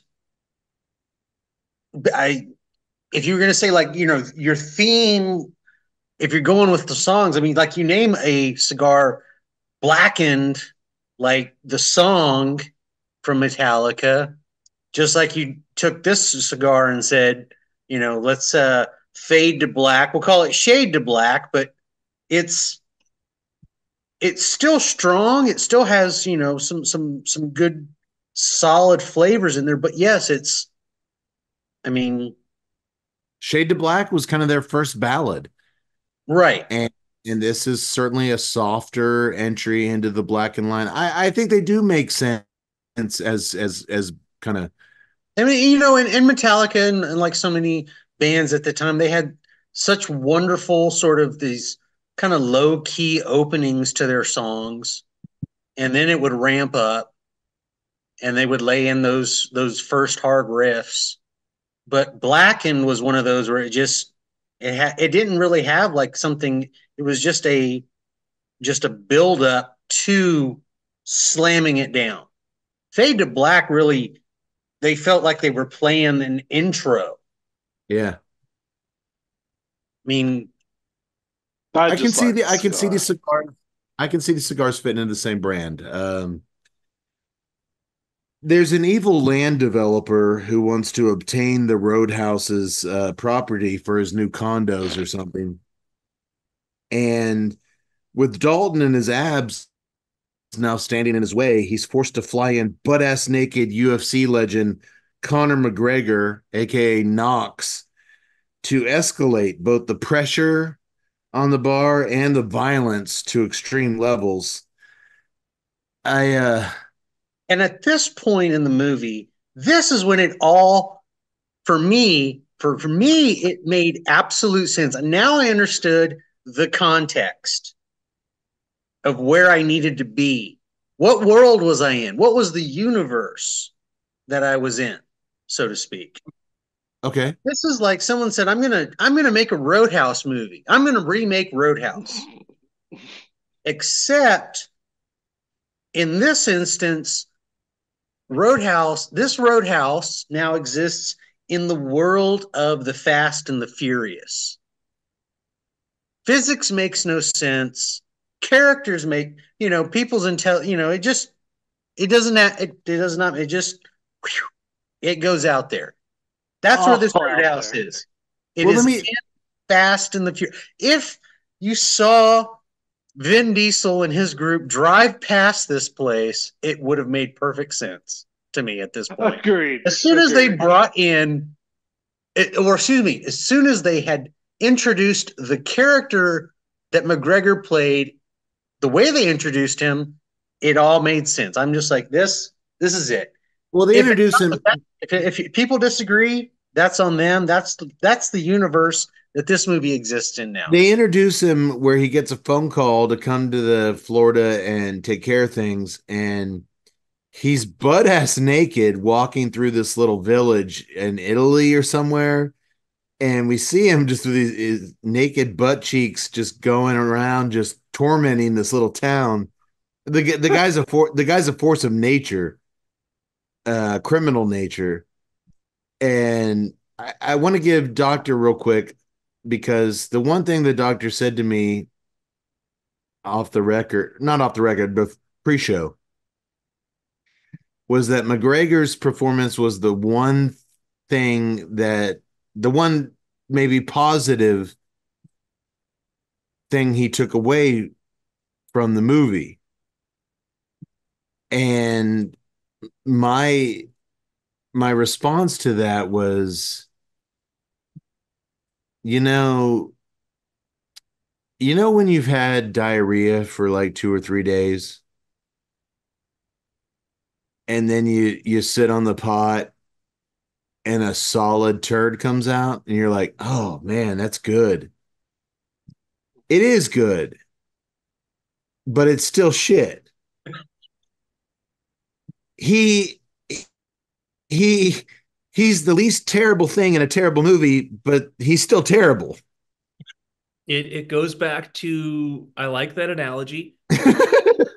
it goes back to the caveat I've been using within this context, which which means what exactly? It means this horrible script that we've been talking about, the terrible writing, the fact that the fact that the lead actor is Driftwood. When you take that in, and, and the fact that Conor McGregor did not write his own lines. No, he did not. He probably that, that, was not an actor either. I'll make I'll make an assumption that uh they probably wrote the the whoever wrote this atrocity probably I'm thinking that they probably had planned to have him in the movie from the get go. They certainly planned to have a UFC fighter to play that role. I'm thinking they probably wrote it with him in mind. So, and again, at the risk of being accused of afraid of having Conor McGregor coming after me personally, I think he has too many bigger things in his life to do. Uh, so the fact that I like his whiskey and, and so forth, uh, I just feel within this context, he gave you something. So it's cartoonish, it's comical, it, it's over it, the top, but he, where your lead actor has no personality, he gave a personality. He did give, in Tut's words, you talked about an odd energy. He has an energy. He has a personality. You never, you never go full leprechaun. I like. I never like go. He literally, never someone. Go, never go full leprechaun. It was as if someone said, "Hey, imagine if you're wearing a leprechaun costume, even when you're butt naked, and you have to walk like that, like you're wearing thing. your clothes. I I, I, I, I like yeah I I like Yax's deal of this this movie now takes place in the Fast and the Furious, and Con, I was against Conor McGregor's. Now I was I was getting ready, or before Yak said that, I would have I would have disputed you, Miss Mincy, but given that this movie now takes place in the Fast and the Furious, he is a perfect character for it. Yeah, but that's just something Yak said. It doesn't actually exist in the Fast and Furious world. in my mind, it does now. I picked the fresh kicks beer because I, I had hoped that at least with the new Road House movie, we get some fresh roundhouse kicks. After the movie was over, I said to my wife, I don't think we got one roundhouse kick in this whole damn movie. No, and she's no roundhouse. And she was like, Roundhouse is the 80s, man. Move and she was on. like, Well, I think maybe Conor McGregor did one. And I was like, I don't think so. He was too busy granting everybody three wishes. Dude, it, it was literally one step away from don't fuck with my pot of gold. it was that stereotypical bad Irish shit. It was terrible. but I saw prom- no, but real quick, so he doesn't kick my ass. It had promise. He showed he showed some promise on screen. I hate this camera because it's showing the your, fucking veins in my head as I'm laughing so hard. With your with your diarrhea to solid good turd analogy, I think you're agreeing with me in that again within this movie's context, he actually provides yeah. you with something that the character of Knox, as ridiculous as that character is, as ridiculous as that character is written, he actually gives you whatever you want to call it. There is an energy, there is a personality to that character. As Yeah, you know what? You know what is. that energy is? It's someone saying, "Oh shit, I'm on a movie set. I get to be in a movie." Well, I get- Jake Gyllenhaal didn't do that. It is. You, No. you know, okay. And Jake so we Gyllenhaal understand. Paul We did not have that energy, but Conor McGregor was very excited to be on a movie set. And guess what? Nobody taught him how to behave or how to act. They just let him go. And he chose to be the leprechaun. Yes. And I, I'm, I'm not, well, here's the thing. Once again, And it was crazy. and once again, like I said, writer, director, there, there's a whole host of people in here. And I was like, if those pe- if, if if those two people didn't come out and say, this is not what we want to see on screen, that's not what I wrote for these characters. Nobody stepped up, Yaks, and said that because they knew that anything they wrote on the page was way worse than what he was doing, which they didn't think could get worse. Let me just say this there's a love interest uh, uh, with Gyllenhaal's Dalton with an ER doctor, just like in the original film. Uh, but here it's totally forced, it goes nowhere. Uh, we don't know her. We don't care about her. There, at one point, she like tries to make a move on him, and he's like, "Oh, is this a date?" Dude, Dalton's making sweet love to was it Laura Dern, Yeah, Kelly Lynch. Kelly, Kelly Lynch, under the moonlight? Like he's a Romeo. Gyllenhaal, is this a date or something? Come on, dude. That's the line, though, man. I put Is the this a date or something? Huh? That's the line. I put that character. I believe the, the character's name was Ellie. Um, attractive young girl, the actress. I put her in the same category, like I said, with Frankie and with the teenage girl. Uh, what? Yeah, I- I- real quick, I'm gonna jump ahead to the end of the movie. I love how this is total 2024 Road House. Hey, you can never be with Dalton. Uh, blah blah blah. Okay, she goes separate I, way. I She, agree with I, I agree with what you're saying. Though. she she she goes her separate way and just ditches him, and it it makes sense in this movie because who'd want to be with this fucking vapid asshole? Anyway, there's also a couple of young bouncers that an uninspired Dalton trains that goes fucking nowhere. That was the one of the best parts of the original Road House was him grooming the young staff of the Double Deuce. Now, just hey, punch him in the nuts. Oh, okay. There was no Be- like Be nice. No, there's none of that. There's none of that. Uh, the whole movie takes over two hours to go absolutely fucking nowhere. I, Yes, I, that's- I'm not I- mad. I'm not mad that they made that they remade Road House. I'll always have the original to watch whenever I want to. I'm mad because the people who made this heaping pile of crap clearly weren't fans of the original film and what it did right. And they clearly thought they knew how to do it better. The end result was that they did everything wrong, wasting everyone who pushes the play button's precious time. I'll happily watch High Noon on Makeout Planet. Remember that episode 136? Tuesday. I'll watch that 10 more fucking times rather than ever giving this abomination of cinema another ounce of my energy. Now, eh, The, The end. Good riddance. I've never in 10 years of doing this goddamn podcast had this much vitriol. And it's not like, oh, Cade's a disgruntled filmmaker, can't he can't handle people actually. No. If this is No, what I'm not going to say that about you. if this if if this is what gets greenlit,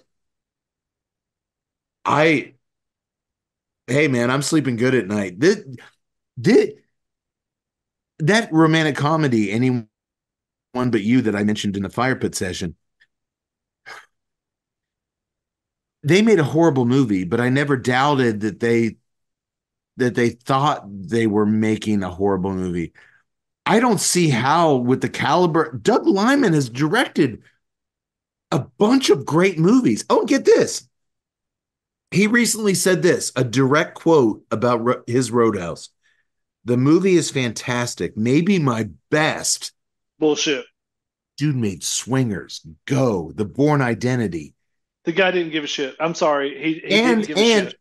and I'm sure it will bring the house down and possibly have the audience dancing in their seats during the end credits. What the which fuck? leads which leads me to believe that somebody out in Hollywood needs to do a wellness check on Doug Liman ASAP because that dude has Well- fucking lost a screw in his head. Well, I'm also curious as to how much he got paid for this because that might be the reason. Probably a lot.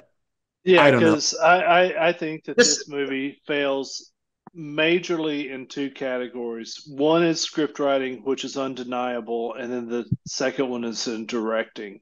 Uh, we can talk about actors and actresses and whatever, but you know, without direction or without a director who gives a fucking shit, and without s- screenwriters, I mean, it just it it's it's a horrible project. It really is. Uh, but I, I just if I if I were to look at some things, uh, point out two of the major things that I think that this movie failed at, it's those two. People can say what they think about Gyllenhaal. People saying what they think about Conor. You know, whatever. It's the director and the script writers who are at blame here. And maybe Wait. the producers, maybe the producers, maybe the producers are like, fuck you and your ideas. This is the thing that we're doing. I'm paying the dollars. Go. To go to your no point, way to go to overcome a terrible script. to go to your point, Todd, on uh, you know, Hetfield's collaboration with DE, and it's just selling this this thing that we just talked about set an Amazon Prime record the first week of it dropping live 50 million views. Of course, because it's got Doug- Road House in the title. Doug Doug Yes. Liman Doug Liman was furious. He boycotted the premiere at South by Southwest because he he claimed he was under the impression that it would have a theatrical release. Everything that was that was released from Amazon and even some of the actors were like, we always knew this was going to be a prime movie. Like, but he swears that he was told it would get a theatrical release. Are you fucking kidding? 50 million people hit the play button on this thing. So, you know what? Mission mission accomplished. Yeah. It's the most Sadness wa- it's That's what that it's- is. It's the most watched film uh original film since uh Amazon bought MGM Studios. But it also speaks to how many people either had fond memories of the original Road House and wanted to see an a remake, an adaptation of, or just something new to the original. It capitalized on the people that wanted to see Road House. well look, I But wasn't gonna- also now, and- and well, and I'll say yes to that, but also say to all the people about MMA, McGregor, so on and so forth. Post Malone. Post Malone. I'll say It this. wasn't even advertised. Look, the only way we're going to be satisfied is if we recreate this. We go to the pub. Tut, you play that guy with a knife in his boot. Yaks, you grab Tut by the leg, twist his fucking leg, drag him outside, and then we're all going to be happy. and it Uh, would have probably been a better project than this. Oh wait, you guys did that two weeks ago, didn't you? And I'm up here. Yes, we did, and uh, my nuts are still swollen. Well, hey, folks. Uh, hey, th- man, I can't remember a show that was this heated. Uh, I don't know if Tut's just very angsty and uh, and and one to one to go at it, but I I liked it. Uh, it was fun. And uh, I certainly have no ill will towards Conor McGregor. I want to make that very clear. Uh, Mintz- Oh, the- neither do I.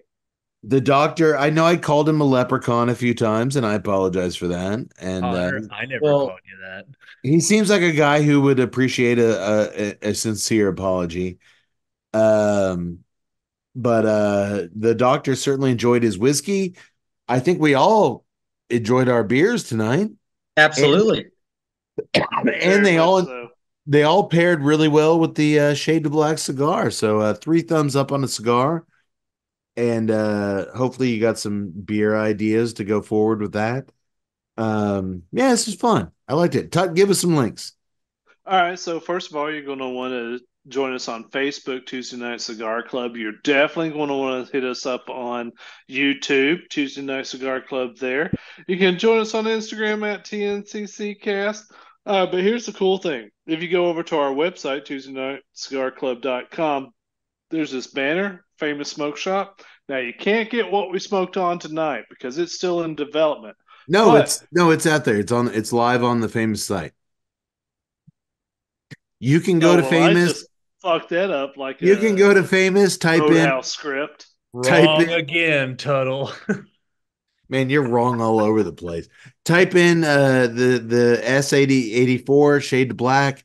Boxes are are up on the site, ready to sale. Type in promo code TNCC20, twenty dollars off a box. You can't beat that. Twenty dollars off a box, and that is definitely fucking good because with this pro- cigar priced around ten dollars, it's a great fucking deal. Get you twenty dollars off on that.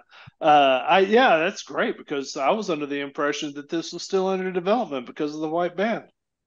No, uh, they are they they uh, PCA was two weeks ago in Vegas, the trade show, and they are they've shipped. Man, everyone's got it. So uh, if you liked the thoughts of white pepper spice with some saltiness and mustiness, with a back finish of graham cracker and toasted marshmallow with some cedar and leather on the draw, who the hell doesn't want that in their lives?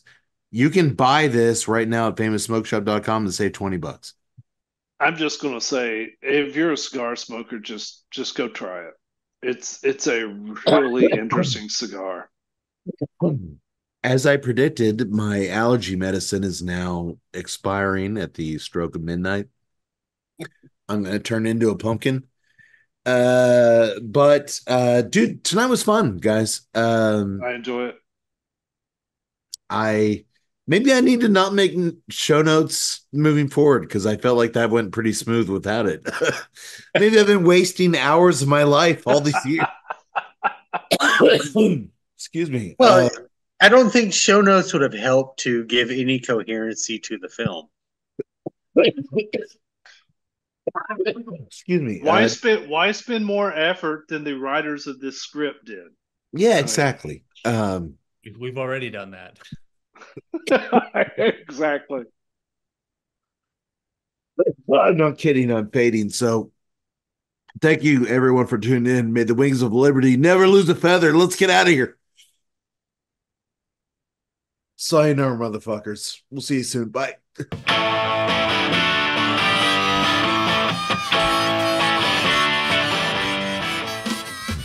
For more on O'Brien's Irish Pub, the live music leader in Central Texas, please visit o'brienstemple.com and download their free smartphone app, where you'll find full beer listings including over 40 on tap, menu information, and a calendar of upcoming live events. To listen and purchase music heard on tonight's program, check out www.fritzbeermusic.com. Thank you for listening to the Tuesday Night Cigar Club podcast. This is Keith A. Howell saying until next time, friends, unless we see you sooner at the pub. So keep it smoky, and for God's sake, keep it ballsy as well.